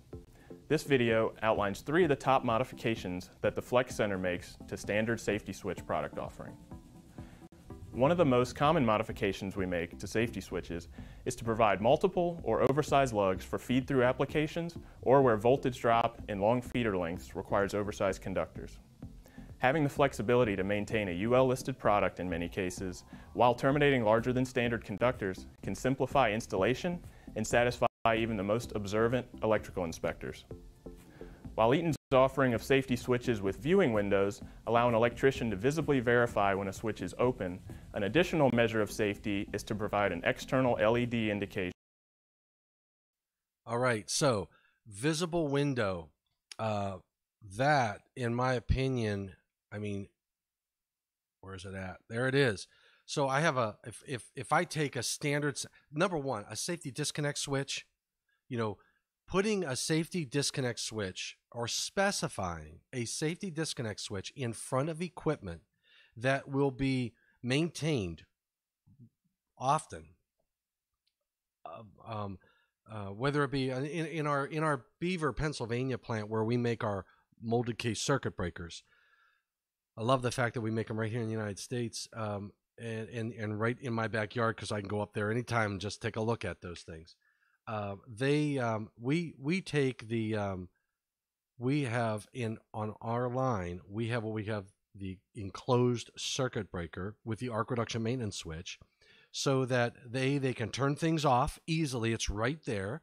If you put a lock and tag on it you're right next to the equipment that you're de-energizing. So you have a very high level of confidence that you're killing power to this and establishing electrically safe work condition uh, because you it's all right there. You're not going back to a panel looking at a label that somebody put on and say, yeah, I'm, I've, I've got a, a high confidence level that this switch is supplying my equipment. You put that safety disconnect switch right next to the equipment. That is huge. You put a window in to get visible indication that those contacts are open. That is, again, additionally huge.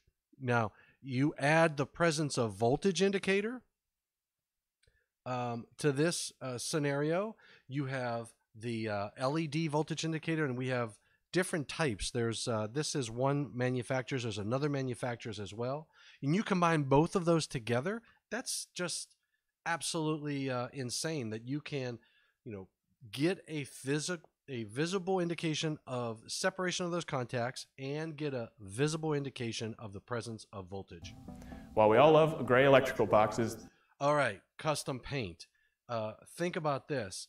You know what what he's pointing out is now I know that um, you know colorblind uh, people are uh, you know that they're they're out there and and um, I have some relatives that are colorblind. I know some people I worked with that are color I work with that are colorblind.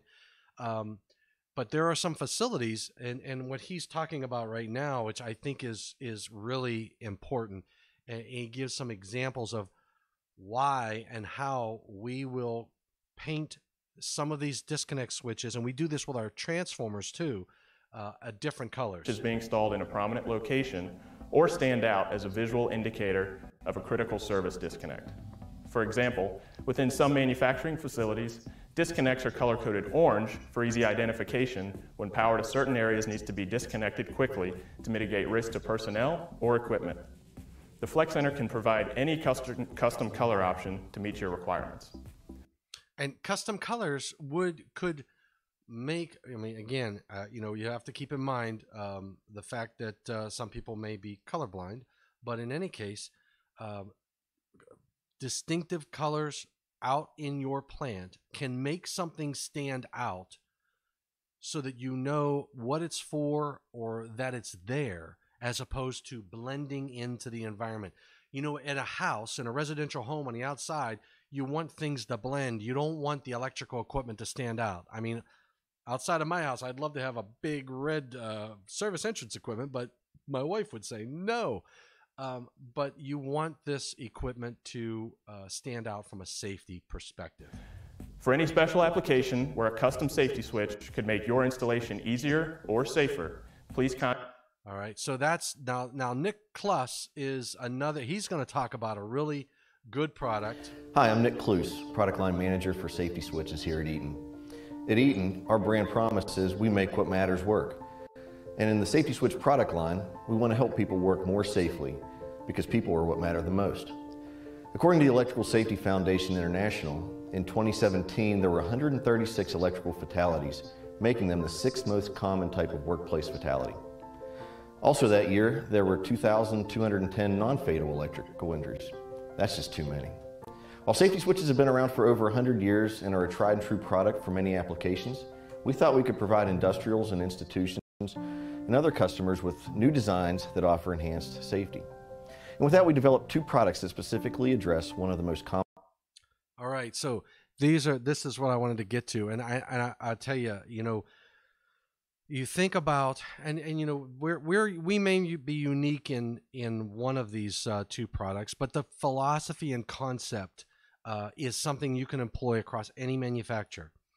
The the product that's uh, shown down on the bottom right there, that is a disconnect switch to go on the outside of an industrial control panel.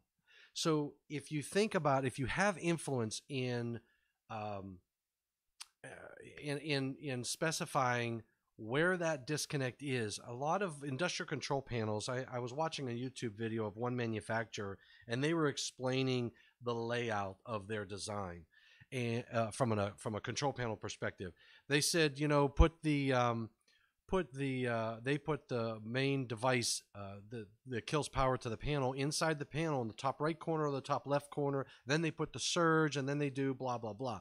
Well, if I can take that main disconnect and put it outside of the enclosure in its own compartment, then I have compartmentalized the energized the when you open up a set of contacts remember that line side is always energized based upon an upstream uh, what's supplying it. And that uh, you know may be in a different area different room uh, and you will have to rely on labeling to know am i opening the right disconnect? But if you attach the disconnect take it out of that enclosure, put it on the side of it, right next to it, or a part of it on the compartmentalized.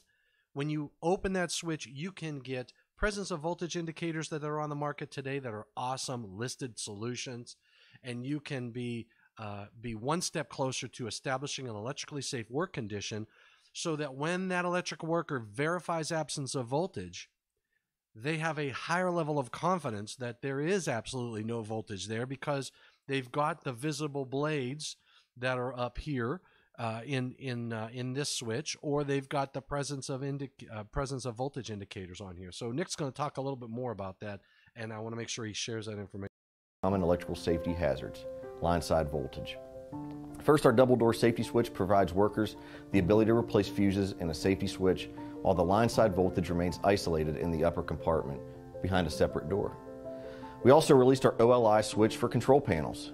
The switch moves the disconnect, which historically would be in the control panel, to a separate side mounted enclosure, isolating the voltage to a separate enclosure when work needs to be completed in the control panel. Remember, PPE is critical, but it's designed to minimize the impact of an event that is taking place.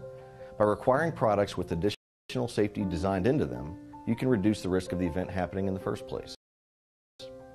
For more information, all right, all right. So, so um, I, you know, I, I don't want to, I don't, I don't, I'm not here to give you a commercial. I'm here to help you understand that getting that disconnect outside of that enclosure next to the equipment. It doesn't have to be an industrial control panel. It can be, um, it can be uh, uh, like say I, I, mean we were requiring disconnects on motors etc within line of sight all that other good stuff and we, we talked about some of those uh, those code requirements but we want to make sure that uh, that we can provide the give the provisions to the electrical worker to establish an electrically safe work condition and a lot of that's going to exceed the national electrical uh, code requirements. Now, this next type of solution is something that we install in our facilities uh, in in like our Beaver plant, which is up here where we make our molded case circuit breakers, we put this breaker in a box with the arc reduction maintenance switch, which we'll talk about in front of all of our equipment or right next to the equipment that will receive the maintenance or possibly justifies justified energized work. Hi, I'm Jordan Ambers, here in the Flex Center today to talk about a demo that we have of our ARMS enclosed circuit breaker. The ARMS enclosed circuit breaker uses the breaker technology for reducing arc flash energy when you're doing maintenance on the switch or connected equipment downstream and puts it in a nice, easy to use package where you can easily turn on and off maintenance mode.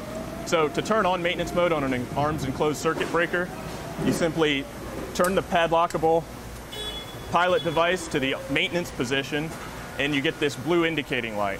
When the blue indicating light's on, you know that the breaker is in maintenance mode and you have reduced arc flash energy at the equipment and downstream of it. When you're ready to turn it off, you return it to the original position, the light will turn off, and then you're back to the original breaker trip curves that are set for your distribution facility. If you have any questions or Need more information about an ARMS enclosed circuit breaker? Contact us at flexswitches at eaton.com. take myself off mute. Uh, I was just looking through some of the comments. Thanks, David. Uh, you're too kind, buddy. Uh, no, I did not say to eliminate LED lighting. I was saying that if you use LED lighting in some of those locations, you can limit the amount of maintenance and having to get up there to replace lighting that will fail more often. LED lighting will last a long time when installed correctly. Um, so uh, let's see, Bruce, before 820 power pump station sewage lifts came to be, it was posted as recommendations about 30 years ago. The time 120 volts was nominal for float switches. All right, so Bruce is sharing some of his knowledge. I agree. I I, I appreciate that. And and Tommy's uh, again. Yep, I would love to join Ryan and David, but you probably won't want any of my Canadian money. No, yeah, yeah, no, Neon, don't don't uh, don't feel obligated at all. I'm I'm I'm not in for the money. That's for daggone sure. Um, and here's another one. Uh, they have a ground fault enclosed. Wow, I don't know about you, but that's loud. Hi, I'm Jordan Ambers with Eaton Switching Device Flex Center. As you can tell, today I'm not in the plant. Instead, I'm in weekend mode at the local marina. The marina might not be the first place where electrical safety comes to mind, but you could be surprised to know that every year in the United States, there are numerous deaths caused by electric shock drowning from leakage currents around marinas where vessels are connected to shore power. The National Electrical Code adopted Article 555.3 in the 2017 code cycle to require 30 milliamp ground fault protection on overcurrent devices feeding marinas or boat yards to better protect swimmers who inadvertently end up in the water around these vessels connected to shore power. Eaton's developed an enclosed circuit breaker offering with factory adjustable 30 milliamp or 100 milliamp ground fault protection depending on the NEC requirements in your local jurisdiction. The Marina ground fault breaker is currently available for single or three phase circuits up to 600 amps. For more information on the Marina ground fault enclosed breaker, contact us at flexswitches at eaton.com. You know the um, uh, the the amount of solutions that are out there, and and, and the marina is what I what I like about the marina discussion and the changes that we put in the National Electrical Code in Article 555 is that it demonstrates a layered approach to ground fault protection, which can be used in other areas you know, this uh, enclosure that we have, and I, you know, I'm, I'm, I'm sure other people have solutions as well, or you could ask anybody, any manufacturer to make whatever. Um, you know, I'm, partial to Eaton because that's where I live, breathe, and and uh, and eat. Uh, those guys are have, Eaton's been great to me, so um, you can't uh, can't go wrong with that. Um, they we've we've been bringing solutions like this, which provide you can provide layers of protection. And what we did in Marina is we said four to six milliamps at receptacles, 30 milliamps out the vessels, 100 milliamps on all the feeders. It's four to six, 30, 100. And we could employ that type of practice in other applications where you might want to provide a higher level of ground fault protection of equipment. So this is a design decision, safety by design. In my opinion, I can isolate a problem by identifying it before the problem exist or before the problem uh, it, it, escalates and, and somebody touches that uh, uh, that equipment that is uh, is energized. So we can, from a safety perspective, we can uh, provide a safer installation by possibly employing some ground fault protection of equipment up through the um, up through the power distribution system, uh, higher up into the system, and so I'm getting more into uh, elim- elimination or substitution or some of the controls uh, in engineering controls. Uh, in either isolating people from the hazards or, or whatnot. So that hierarchy of control is is important. And and Jim Jim pointed out that uh, that safety triangle. You know, again, it it, it we understand that those close calls that that exist out there uh, will will increase, and and and the more you have of those, the probability of you having a fatal injury are pretty high. Um, what they they they said that uh, 40% of electrical industries involve 250 volts or less. So another miscon- misperception is that 120 volts is not as dangerous as 480. So that's not necessarily true. From a shock perspective, I don't care if it's 480 if it's 120. I can kill you with either of those voltages. 208, I can kill you. Uh, hierarchy again, you know, eliminate, substitute, and engineering controls. We want to be we want to be in a safety by design world. We want to be in that area. Now, again, we have to understand what work is going to be performed on equipment, you know, and and and when is it going to be justified energized work? So we have to understand justified energized work to understand if that would occur on the equipment that I'm installing or I'm designing around. And if it does, then I want to put certain provisions in for the electrical worker. So 130.2 of 70E tells us that um, electrically safe work conditions, if we're going to do energized work, you have to be able to prove additional hazards uh, that uh, are present or increased risk for that application. You have to prove that it's infeasible to establish an electrically safe work condition. You have to improve uh, that you are uh, operating less than 50 volts or you know that it's a part of the normal operating condition and you know the examples of uh, of additional hazards or increased risk they say uh, you know you have somebody on life support you know now don't ask uh, probably my wife if i'm on life support if you want to shut something off but um, you know get my word for it but uh, you know if you have somebody on life support you, obviously you can't kill power to that.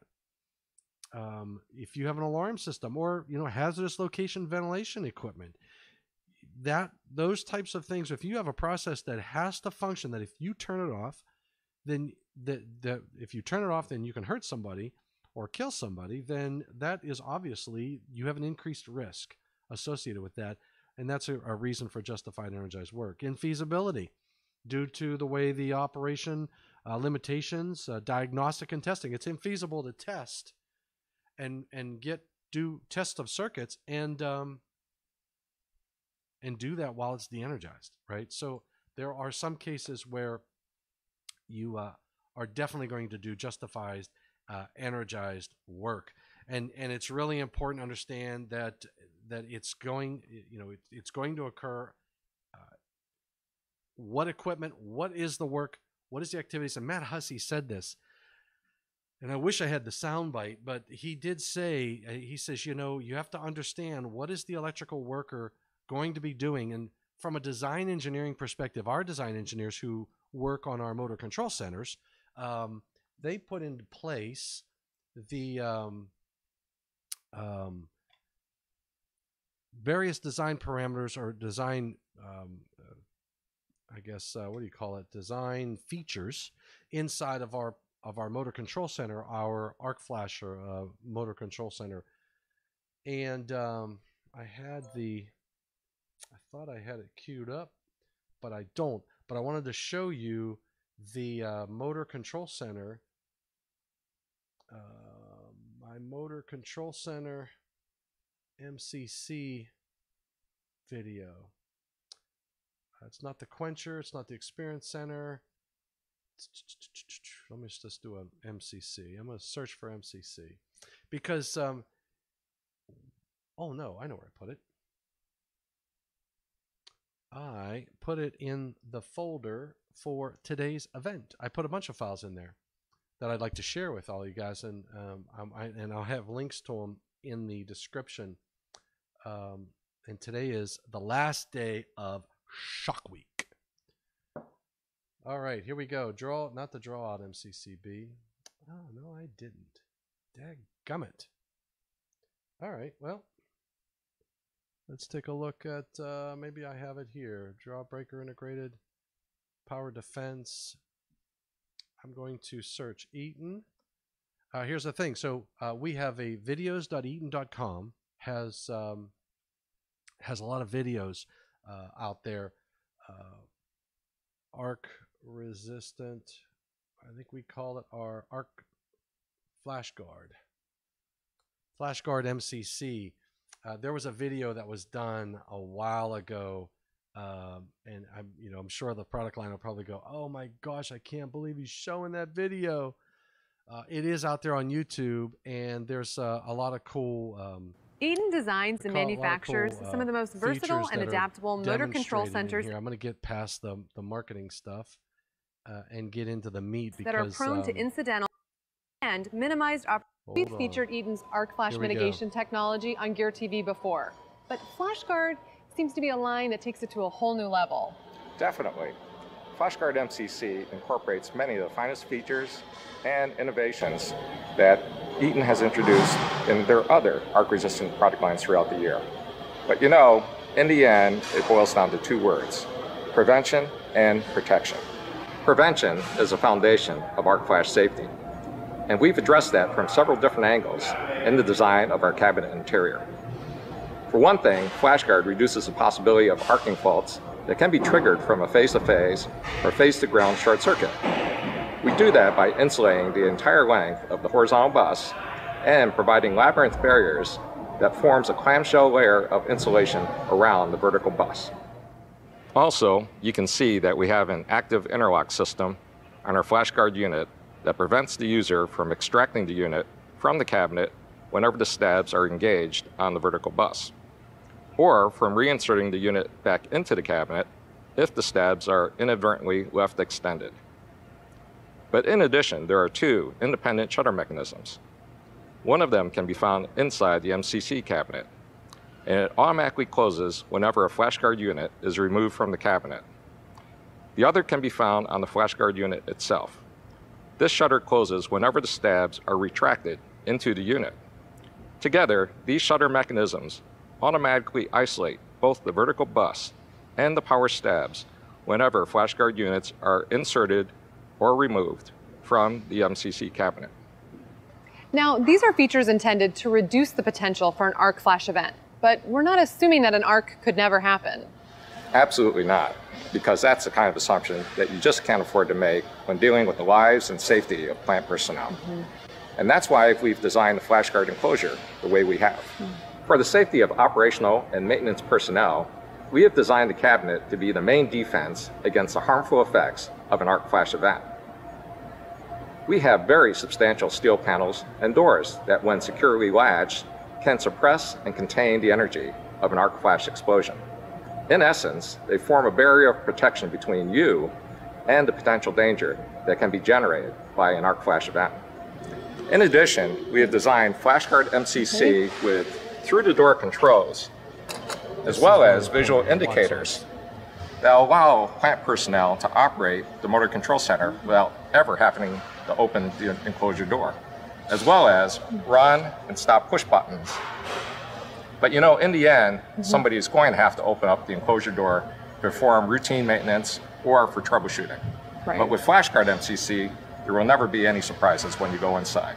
For example, with conventional MCCs, the door must be open in order to use a multimeter to perform a test before touch procedure to make sure that the bucket is de-energized.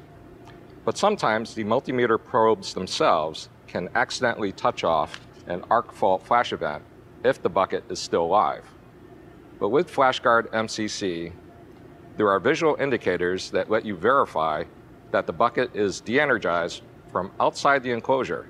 And it lets you decide beforehand whether it's safe to open the door or not. In addition, each FlashGuard unit features Eaton's proprietary RotoTract mechanism which enables the power stabs to be retracted within the unit. This allows FlashGuard units to be safely disconnected or reconnected to the vertical bus with the cabinet door closed. An optional remote racking system extends the operator's safety zone to a maximum of 15 feet while disconnecting or reconnecting the unit power stabs to the vertical bus during bucket replacement. Available panel accessories also include the voltage vision module, which flashes to indicate the presence of dangerous voltages inside the unit, and the motor guard. So this was in 2011, and here we are in 2020.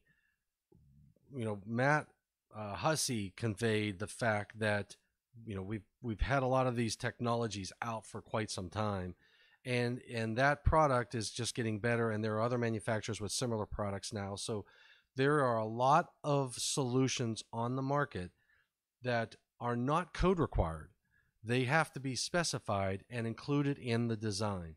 So it's important to remember that um, safety by design is a decision that's made in the design process. And sometimes, I mean, if you did not order, if you did not specify uh, these types of solutions, it's not like you can come in after the fact and say, "Hey, you know what? I want to upgrade to that." That that that's very difficult, very expensive after the fact. There are certain things you can do, from an upgrade perspective, but you want to get this stuff in the design phase of the of the power distribution system uh, in in your design.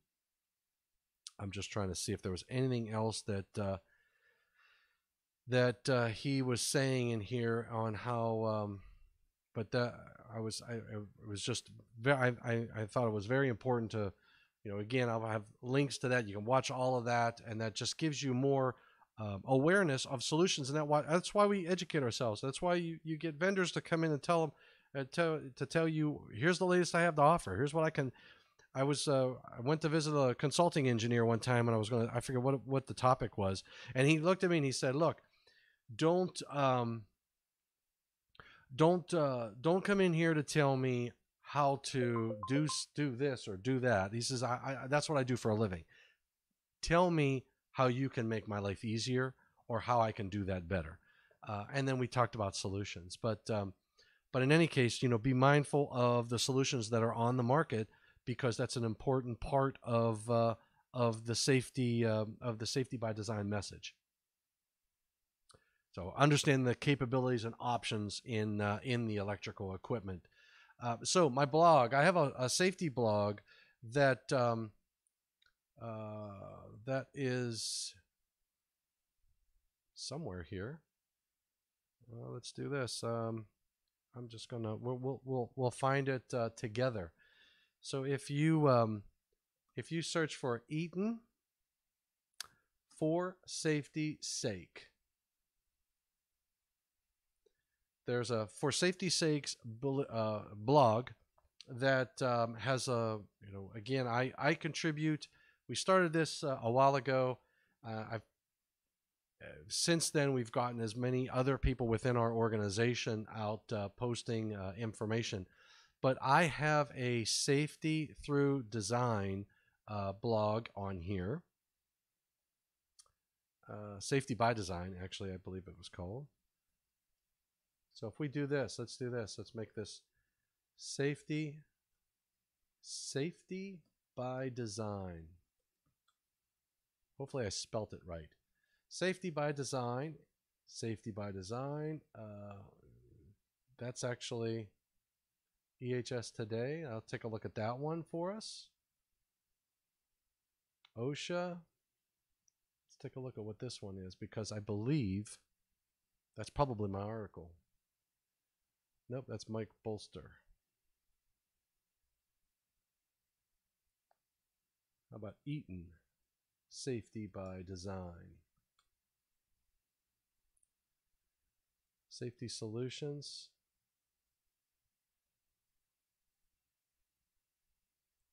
Featured blog, cybersecurity, that's another big one. Fault current product cybersecurity standards. Creating a safer installation, defining reconditioned equipment, surge protection, Man, I didn't realize there's a lot of LEED equivalent for safety. I did that one a while ago. Uh, that is an effort that goes above and beyond bare minimum requirements.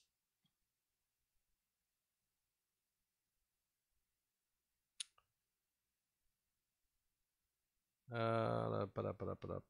Hold on with me here. Um, resiliency based standards. Oh. I think I clicked on something. Yeah, this is my safety by design uh, document.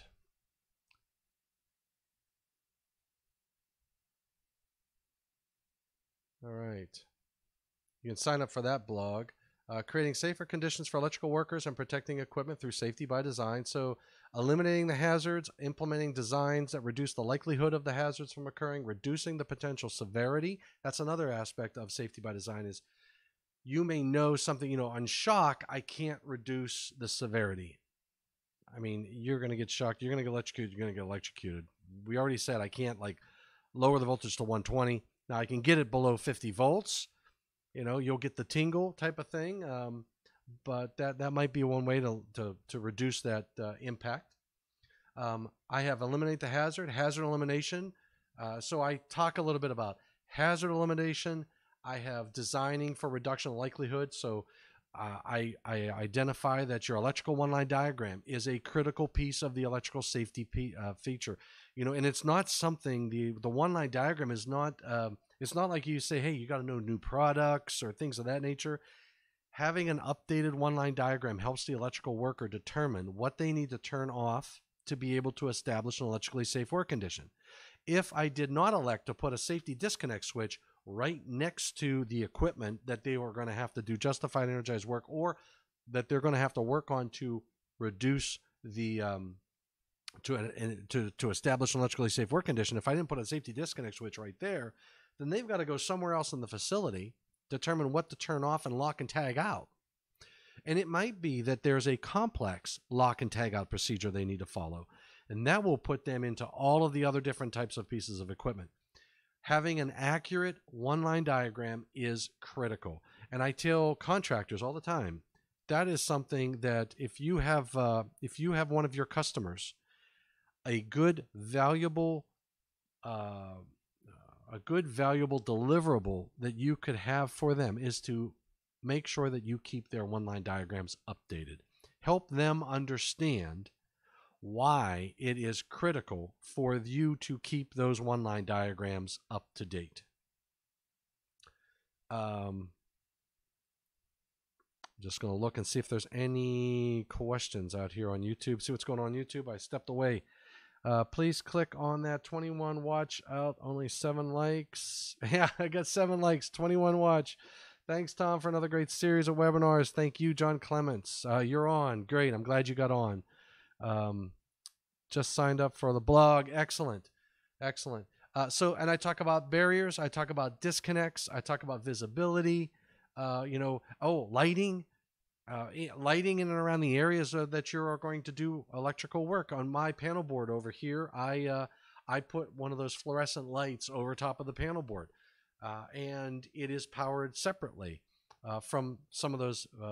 I know what exactly I need to have on in that panel to keep that light on.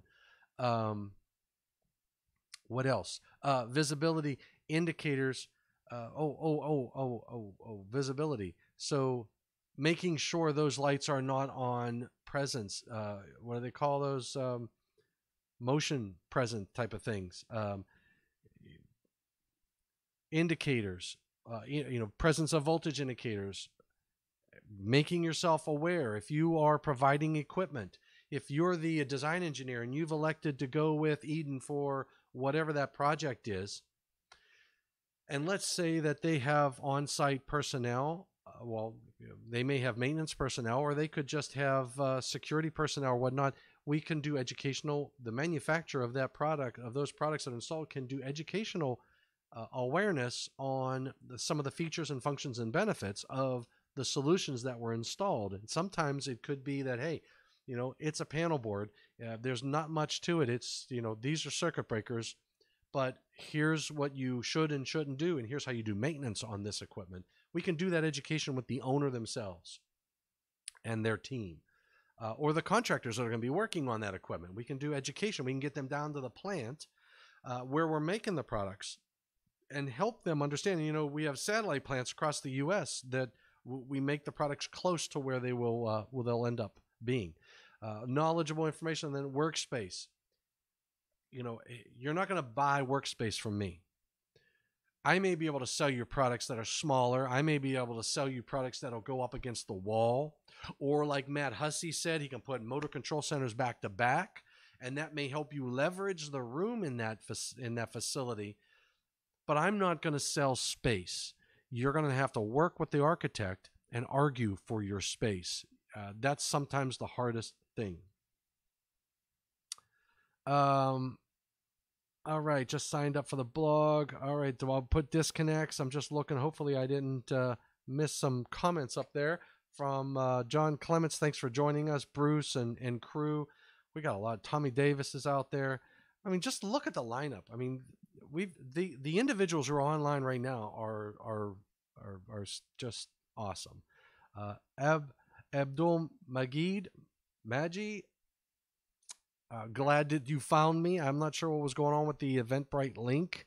Uh, apologize for that. Um, all right. So, uh, and then designing for reduced in severity. So, increasing the clearing times, increased clearing times, or decreasing clearing times is what you really want to do. And what I mean by that is you want to uh, a provide a disconnect. Like we talked about the the ARMS in a box, the arc reduction uh, maintenance switch for that uh, molded case circuit breaker in a box uh, that we put in front of equipment.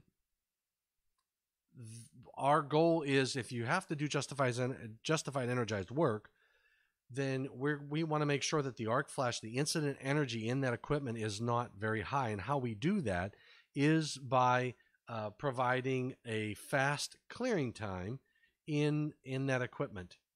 Um, and and so as an example for that, um, if you look at the the trip curves for molded case circuit breakers versus power circuit breakers uh, versus insulated case circuit breakers. So this is a 600 amp molded case circuit breaker. If I can get that breaker to operate within 0.012 cycles, I'm at point. I'm less than a calorie. Right. That's uh, 0.64 calories. I'm in gloves. The the uh, arc flash boundary is probably inches. So I'm in a pair of gloves. Obviously, I'm wearing my my glasses, and uh, I don't need a balaclava. Um, I'm I don't need uh, a lot of other personal protective equipment because I'm at a very low incident energy. The moment you start adding time, now you are in. I went from 0.6 to 12 calories. That's a big difference. Uh, I went from 0.01 01 something 016 seconds, um, you know, a cycle to um, to uh, 12.7 cycles, almost 10 cycles, and I went to 12 over 12 calories, almost 13 calories. Uh, that's a healthy uh, a healthy event. And if I did a power circuit breaker, a 600 amp power circuit breaker, I'm into the over 30 calories. Uh, and if and if and if I'm on the secondary of a transformer, I am probably in uh, in, in a much worse uh, situation uh, because of the location in the power distribution system. And we went over this in one of my other classes a few weeks ago. Uh, remember, we had a 225 kVA transformer where, uh, with four percent impedance, I laid out sort of laid out the circuit for us, and I had 23 uh, calories per centimeter squared because I'm relying on I'm relying on the upstream overcurrent protective device because in this box I have to assume line side propagation. And and I have to assume that if I have a a an arcing event in this enclosure, it's going to propagate to this line side of that main breaker. And now I'm only relying for a clearing time on the primary breaker. If I add that disconnect, just pull the main breaker out, put a disconnect in front of the equipment. And this goes for that whole what Nick Klus was talking about, Nick Klus was talking about with regard to that safety disconnect switch right next to the equipment. it, and and and this is a, uh, a circuit breaker. I'm I'm going to show you what the fuse will do for you as well. But if I simply move that out and I'm working in this equipment, say doing justified energized work, and let's say that you know I'm showing a panel board, but that could very well be an industrial control panel. I'm relying on this overcurrent protective device, and now my incident energy is less than a half of a calorie. I went from 23.5 to 0.34 simply by relocating the overcurrent protected device. That is not a code requirement. That is a design decision. That can be specified. And if I specify a fusible disconnect switch, I can take it down even to a and and this is a conservative number because you know why? I'm not taking advantage of the current limitation of that fuse. I just simply used 0.01 seconds as a clearing time in my SKM arc flash analysis. So I modeled this in SKM, uh, put the transformer in, put the impedance in, uh, and redesigned this. And these numbers are basically uh, based upon the 2018 version of IEEE Institute of Electrical and Electronic Engineers 1584 and that's a four, not a nine. So simply moving and putting a safety disconnect switch in front of that panel board or whatever that is. It could be an industrial control panel, that could be a motor, it could be um, it could be an elevator control panel. I don't care what it is. HVAC control panel. I put an AC disconnect in front of it.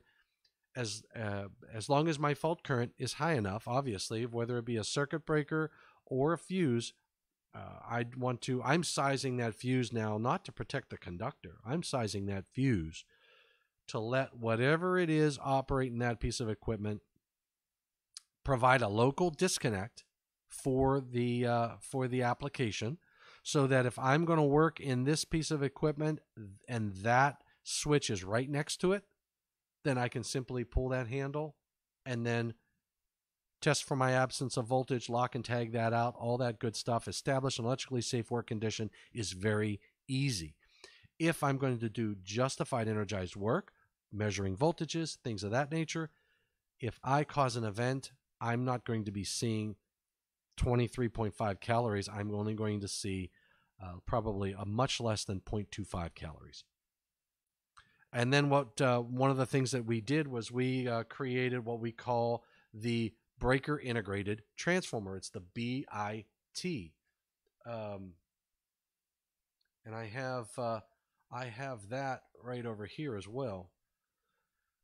Uh, I believe that's right here, if I'm not mistaken. Uh, this is the breaker inter- integrated transformer, and uh, it goes up to 300 kVA. Uh, that's what it looks like. The breakers uh, is integrated with the front of the device. I think that's a stainless steel one. Uh, there's a, a, standard gray uh, type of uh, picture on it. Hopefully, I'm showing that picture right now. I just hopefully my Stream Deck is working. Yep, it does look like it's working.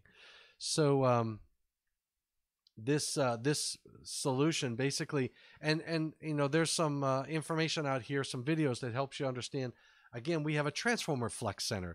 We've got safety disconnect switch. Uh, they, they'll paint this transformer any color you want it. We'll make it red, white, and blue. If you live in Italy, we'll make it uh, your Italian colors. If you're in Croatia, we'll make your colors. We can put whatever whatever color you want to make that transformer. We can make it blend. We can make it disappear. Um, oops, sorry about that. Uh, so, and we can add uh, the connectors and quick connects on them. Uh, there's a lot of different things that uh, that are, are, possible with those uh, types of transformers. So you may have a lot of different designs necessary for your application. You may need a specific impedance transformer. We can design those and bring those to you, as do many manufacturers out there. It's not just a an Eaton thing, although um, you know can't get much better. But in any case, um, uh, there's a lot of different white papers, there's design guides, etc., out there for that solution. Um, but in any case, this is a uh, this is a uh, uh, breaker integrated transformer puts that secondary breaker in there to make this type of performance a goal and something very achievable.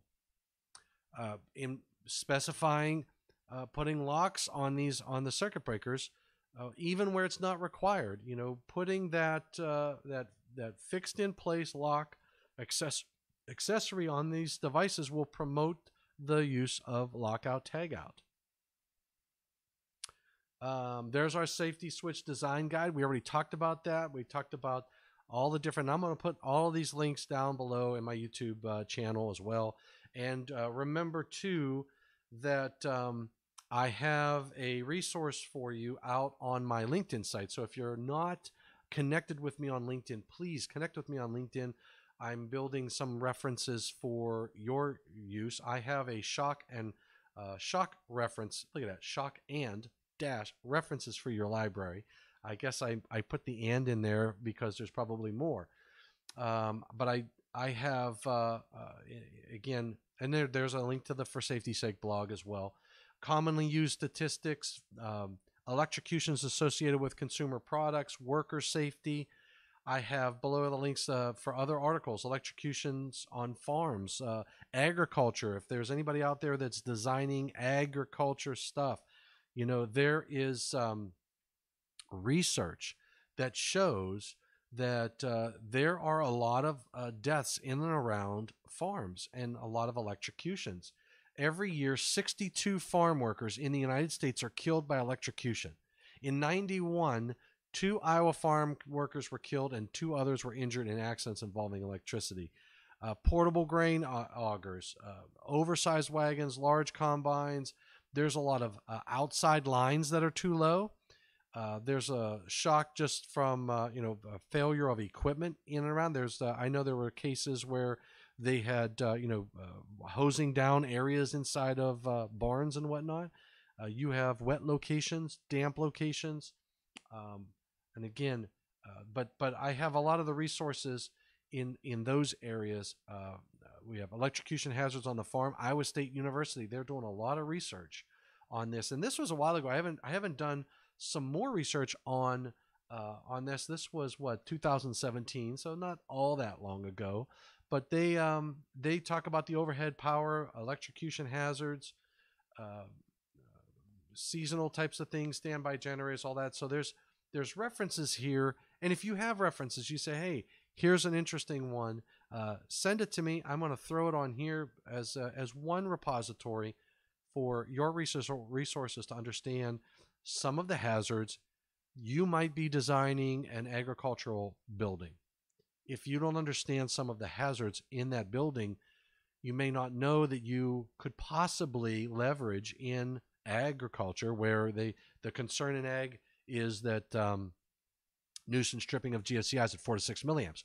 Well, you can layer on, do what we did in marinas, put that 100 milliamps or 30 milliamps in various areas further up in the distribution system so you can identify problems when they exist before somebody comes in contact with them and then provide um, uh, GFCI protection. Look at this. Boy, uh, dies from an RV. This is an interesting one.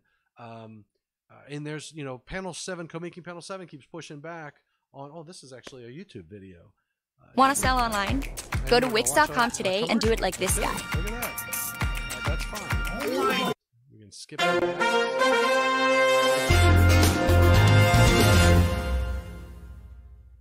RV Hello, travel. Chris Doherty here, technical editor for the RV Travel Channel, and I'm joined by RV contributor and electrical engineer Mike Sokol. Mike, thank you for joining us. Thanks for having me. Mike, we've got some unfortunate uh, news here uh, that just came off the wire. Uh, according to the Lee County Sheriff from Amboy, Illinois, three-year-old Landon Gerald Keener was uh, unfortunately electrocuted, and it looks like he was electrocuted from the skin of an RV. You've been following this story up a little bit. Maybe you could tell us a little bit more about it. Yes, from what we know, it appears that he was electrocuted by what we call a hot skin condition. And this occurs in an RV when something's happened to its wiring system or grounding system, and the skin of the RV itself now has an elevated voltage on it. Could be 40 volts, could be 120 volts. What makes that dangerous is if you're standing on the grass or damp earth and you touch any part, any metal part of the RV. So that you can watch the whole thing by going out to this and and um, simply coming down through here, there's uh, you know there was a lot of dialogue in around RVs. Uh, there's a electrocuted after trying to save uh, his dad and the dog in Put in Bay marinas. So there's another marina. Uh, electrocution while swimming. So all of that. Uh, and then there's the body resistance uh, review. It's another uh, information on those. So we've and I see David Englehart's down there. He's already uh, visited that one as well. So uh, don't forget to take a, a, step out and look at, at those resources that I have for all of you, uh, especially as we move into um, into increasing safety and design. You have to understand in your design, understand the hazards that are that could possibly be in that location.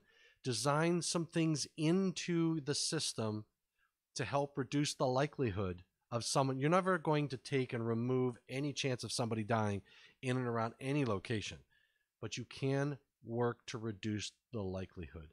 Uh, maintenance is another big uh, area of concern, uh, and it's important to understand that uh, there are uh, options available for um, uh, you know understanding what is available on the various technologies that are out there. And uh, we have a whole new line of circuit breakers, and there's uh, there's uh, technologies on the market that can help you understand when do you need to pull maintenance. Right? I know that um, there was uh, a design, I believe it was copy machines. Copy machines at one point, you know, they they'll fail. I mean, inevitably, you've got somebody in there working on the copy machine, or or the printers, right? Um, but we're all digital these days. But in any case, they had technologies built in those printers and those copy machines that would notify somebody uh, wirelessly from um, uh, you know the whoever had the contract for that facility that they had to go in and change some toner or that it's malfunctioning and they have an alarm, alarm and they can go in and work on it. So there are ways that and solutions on the market that will uh, enable you to uh, understand more and more and more about the electrical distribution equipment. This is uh, a, a, review of uh, some new technologies that we have on the market uh, from an Eaton perspective that helps the electrical uh, installation understand what's going on with their overcurrent protective devices. They have embedded uh, communications. There's ways to have remote indication, whether it be a hardwire or through uh, you know Modbus or one of those other technologies, to be able to share uh, critical information that says here's what happened, here's why it happened. It provides your your your typical protection that circuit breakers are supposed to provide, but you're going to get more out of these new devices that are on the markets today, where it'll tell you, hey, you know what? I've seen uh, I've seen uh, uh, I don't know uh, X amount of faults that are up close to my interrupting rating, and you know you should do maintenance. Uh, you should come out and visit uh, visit this installation and um, and, uh, and and and and pull annual maintenance on me, and it might be more frequent because of the the number of times it, it has interrupted faults. Um, uh, so they we call it uh, predictive uh, uh, predictive or breaker health circuit breaker health is what uh, is basically what that is. So there are a lot of different new technologies on the market that will give you additional information as to the condition of maintenance of the electrical distribution equipment. There is what we call the draw out so we take um, a, where is it here? This is that's the switch. We've got um, power defense electronic. That's the trip. We've got a, a draw out molded case circuit breaker. And what this is, is basically you, uh, we took the, the whole concept of uh, MCCs and whatnot, and we um, implemented that into a uh, switchboard where you have molded case circuit breakers that you can rack off of the bus uh, through the uh, through the enclosure. So and remotely, so you can this cartridge, so to speak, comes off of the bus, and all of this is finger safe inside, and uh, you can easily take that breaker out, take it and do some maintenance. Take that one out, put another one in uh, in its place while you perform maintenance on that. So there are a lot of solutions on the market that um, that are not code requirements. That's the key. That's not a code requirement. It is a design decision. And when you understand the operating characteristics of these of these devices, you know it's a mechanical type device that needs to be cycled every now and then. It has uh, contacts inside that don't last forever if you keep beating it with faults. Uh, there are arc uh, extinguishers inside that will um, that will uh, help work to uh, remove the uh, the the arc and extinguish the arc and conquer and separate and conquer to conquer and divide it. And all of that stuff works together through magnetic fields and and whatnot to um, to uh, um, to interrupt the fault currents, whether it be an overload current or a fault current like a short circuit or a ground fault. Your your these mechanical devices are doing all of this work, uh, but again, it doesn't do it all the time forever without you um, without you uh, um, having to pull maintenance on it. So it's really important to understand the limitations and capabilities of all of the equipment that you are installing. And if you can pick technologies that will um, provide, for example, circuit breaker health, uh, like the like these circuit breakers do. We have uh, predictive diagnostics equipment that will help identify bus failures and other things in the in the um, in the system. So I'm just looking at the time right now. My wife went over Carla's house, so she's uh, out having fun in um, in the sun, which everybody on this phone on this uh, call should be doing and will be doing in a few minutes. So, breaker health is an important uh, aspect of electrical safety, um, and and safety by design is all about picking the right solutions. All right, uh, here's another, and you know, again, another solution uh, on the market available that um, you would have to specify. You know, presence of voltage indicators. Uh, this is the VeriSafe absence absence of voltage tester. Um, that tells you when you've disconnected something, it, it's uh, it's see doesn't see voltage. There is a you know nice green glow that it has. Uh, that shows you how it's wired, and Matt Hussey talked about this. Look, there's redundant connections to each of those uh, terminations. Uh, very important to uh, design these things into uh, and and specify them in your design. specifying these windows for thermography, uh, that's not something that's a code requirement. It's going to be safety by design. It's up to the design engineer. It's up to the uh, design build contractor. It's up to the electrical professional who's going to be selecting or telling somebody what they want to tell them to get some of these options that will increase safety. All right. We were up to 25 people now. Uh, 25 uh, safety conscious people just out there spending time with Tom Domitrovich and the rest. We got John Clements. Um, it says many great electricians who have taught me so many things, including safety. When the experienced electricians are doing things the safe way, the young ones usually. That is exactly right, John. Very important that, and I think the electrical engineers, the electrical contractors, and electricians, people in our trade coming in to the business today, are much different, better, and probably better off from a safety perspective than years ago. Because what happened years ago, it was we pushed those limits. We came from a mentality of uh, here, hold my beer while I while I do this, or you know, you're you're uh, you're not a man if you can't do this type of deal. Um, and and we accepted risk, and then that translates all the ways down the stream. Now we're in, a, in an environment in a world of safety conscious professionals who are handing that down. So our young guys coming into the business today are getting uh, are getting drilled into them the whole concept of NFPA 70E.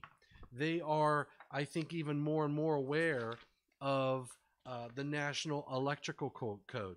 Uh, and we are our own worst enemies uh, by doing things energized. You know, Jimmy told me one time, he says, you know, uh, there are so many uh, ways that we hurt ourselves in our industry because uh, that one contractor or those contractors will say, you know, I'm not going to work energized, but the other guy down the street says, oh yeah, I'll do that, no problem. I'll put my guys at risk, right? um, accepting that level of risk. And the more we uh, just decide to do and we accommodate uh, unjustified electrical work, the the the worse that we are actually being um, uh, to our electrical industry. We're not uh, we're not doing ourselves any justice um, by um, by uh, performing unjustified energized work. We don't need to do if we don't need to do just uh, electrical work energized, then just don't do it. But we'll continue that process, right? Um, uh, put let's see um, what else. John Clements. I appreciate John Clements. I appreciate Bruce.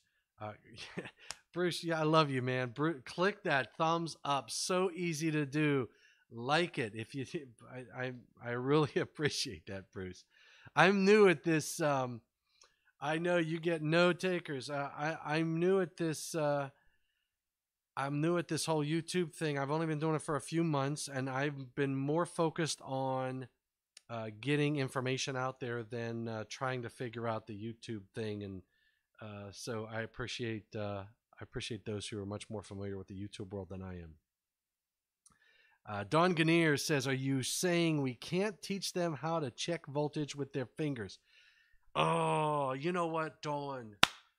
Twice in my uh, more than twice um, I had an electrician who um, I might I have I even have the picture of the receptacle. In fact, on my Facebook site, uh, I'm going to close a couple things here. I put the Menti code for those want that uh, who, who just want to get it the heck out of here. But on my Facebook site, I have a um, I created a site called Found Electrical Problems, and um, I'm gonna show. Well, I can't. I'm gonna. how I how do I do this to get the Menti code in? This is one with me and the guest, so I think I can do this. Um, because the guest right now is my monitor too. That's what it says, monitor two. But on my Facebook site, I have a thing called Found Electrical Problems and there's a picture uh, which is on the title side of that uh, of that. And and I started this a while ago. There's a lot of followers out there. I haven't po- I haven't been posting a lot to it. I don't know if anybody out there has has seen this uh, this site before when my slow computer comes up. Uh, but the cover the the main picture up here at the top which you're going to see over here as soon as it uh, pops up is a picture of a receptacle.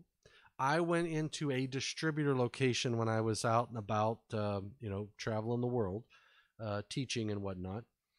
Uh, and I went to a facility, and that is the picture right there. You see how the the front of the receptacle came off, and the whole faceplate and everything just fell off. And so I'm looking at this, and I, and it was a little step type of deal, and it was like there was like a little stage area. So I I was standing in front of it. Uh, somebody walked up, and it just it nobody touched it. It just fell off. The whole front of the receptacle fell off. So I I told somebody I said, hey, I said you got uh, that's exposed. That's 120 volts. I mean, uh, exposed. Somebody needs to to address that. So they called their electrician. He walked out. No lie and he started unscrewing that receptacle. And I said, Whoa, what are you doing? I, he goes, Well, I'm, I'm going to replace this. He had a new one in his hand. I said, Well, you should, uh, aren't you going to kill power to that? I think it's energized. I'm thinking, Well, maybe he turned it off before he came. And he goes, Yeah, it's energized. He says, But um, I've done this a million times. And I'm like, Well, no, no, not not while I'm standing here. You know, you know, I, I grabbed, I, I, I I grabbed somebody else. I said, you know, there was. I said, go go get somebody because this is ungood. And he he he didn't he didn't call me anything, but he he commented about me, and then um, he started to uh, take that receptacle out. And sure enough, man, he caused a ton of sparks in that receptacle because his screwdriver slipped and he went right in on that 120 volt. I mean, it was like a and um, and he jumped back, and then uh, he never said a word. He walked away. He put a he moved over, put a chair in front of it, and then he walked away, and then he came back and he went and killed the breaker and shut the breaker off, uh, and then he he didn't he didn't even test it the second time. I mean, he didn't do a test, and, and uh, I'm telling you, I watched stuff like that, and I know everybody out there has watched it too. We've probably done stuff like that. Don't do that. Um, but that, you know, I, I and you, if you, I don't know if you, uh, you know, go out. I haven't, I haven't posted to it. I think anybody can post to it. Um, I've, uh, I've uh, posted some uh, found electrical problems uh, uh, to this, uh, to this site. Um, every time I, whenever I see issues out in the field or or whatnot, I try to copy up some pictures. You know, I I love this one. I used I used this one in my in one of my presentations for Working Space. You know, I was in a grocery store and you know that was the panel board. It was uh, it was completely. I mean, there were pop camp uh, pop bottles and whatnot stacked in front of it. Um, Bruce B not too many, but last uh, how many of those old finger checkers are still around? Yeah, you know, here's some of the picture. Oh, I love this one. You're gonna love this. I was coming driving back from St. Louis, Missouri, and this is down off the exit of Interstate 70 and Route 7 in West in Ohio, uh, just on the other side of the river from um, was it not Morgantown? It's um, oh I can't I can't think of the name. It's uh, right where 70 goes through West Virginia. And I looked up and I saw there's an extension cord that comes out of this window. It's draped over that air conditioning unit and goes into that window. And look at the sign on the bottom. It's a law firm of all things. I'm like, you can't make this up. I loved it. I had to take a picture of that. Spotted that little gem. That was in 2017. Um, that that was just priceless, in my opinion. It was priceless.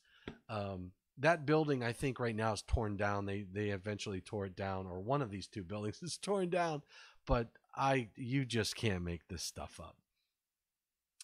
All right, Don. I appreciate everybody dialing in. Check out some of the resources I have for you online. Hopefully, this was helpful to you. Uh, have a great 4th of July weekend. Go enjoy yourself. I will have a beer on you, uh, um, uh, Mr. David and uh, David Englehart, and uh, you too, Ryan Jackson. God bless both of you. God bless everybody out there. Thank you very much for for tuning in. You've got the uh, sign, sign out uh, Menti code down below. Uh, thanks for joining me on your holiday, on my holiday. Um, and stay safe this weekend. Stay safe always and healthy. Practice your social distancing network and don't forget to wear your masks. Put them on. Keep safe. And uh, be a part of the uh, social distancing network. Nihad El Sharif, thank you, and everybody else who's joined us. 21 viewers out there. Uh, thank you very much for uh, for joining. And Steve Froming, stay out of trouble and stay out of the Wisconsin R and R Ranch. Okay, no more of that. Come on, stop. All right, brother. Thanks, everybody. I'm going to sign out um, for today. And um, it's been fun. It's been real. And it's been real fun.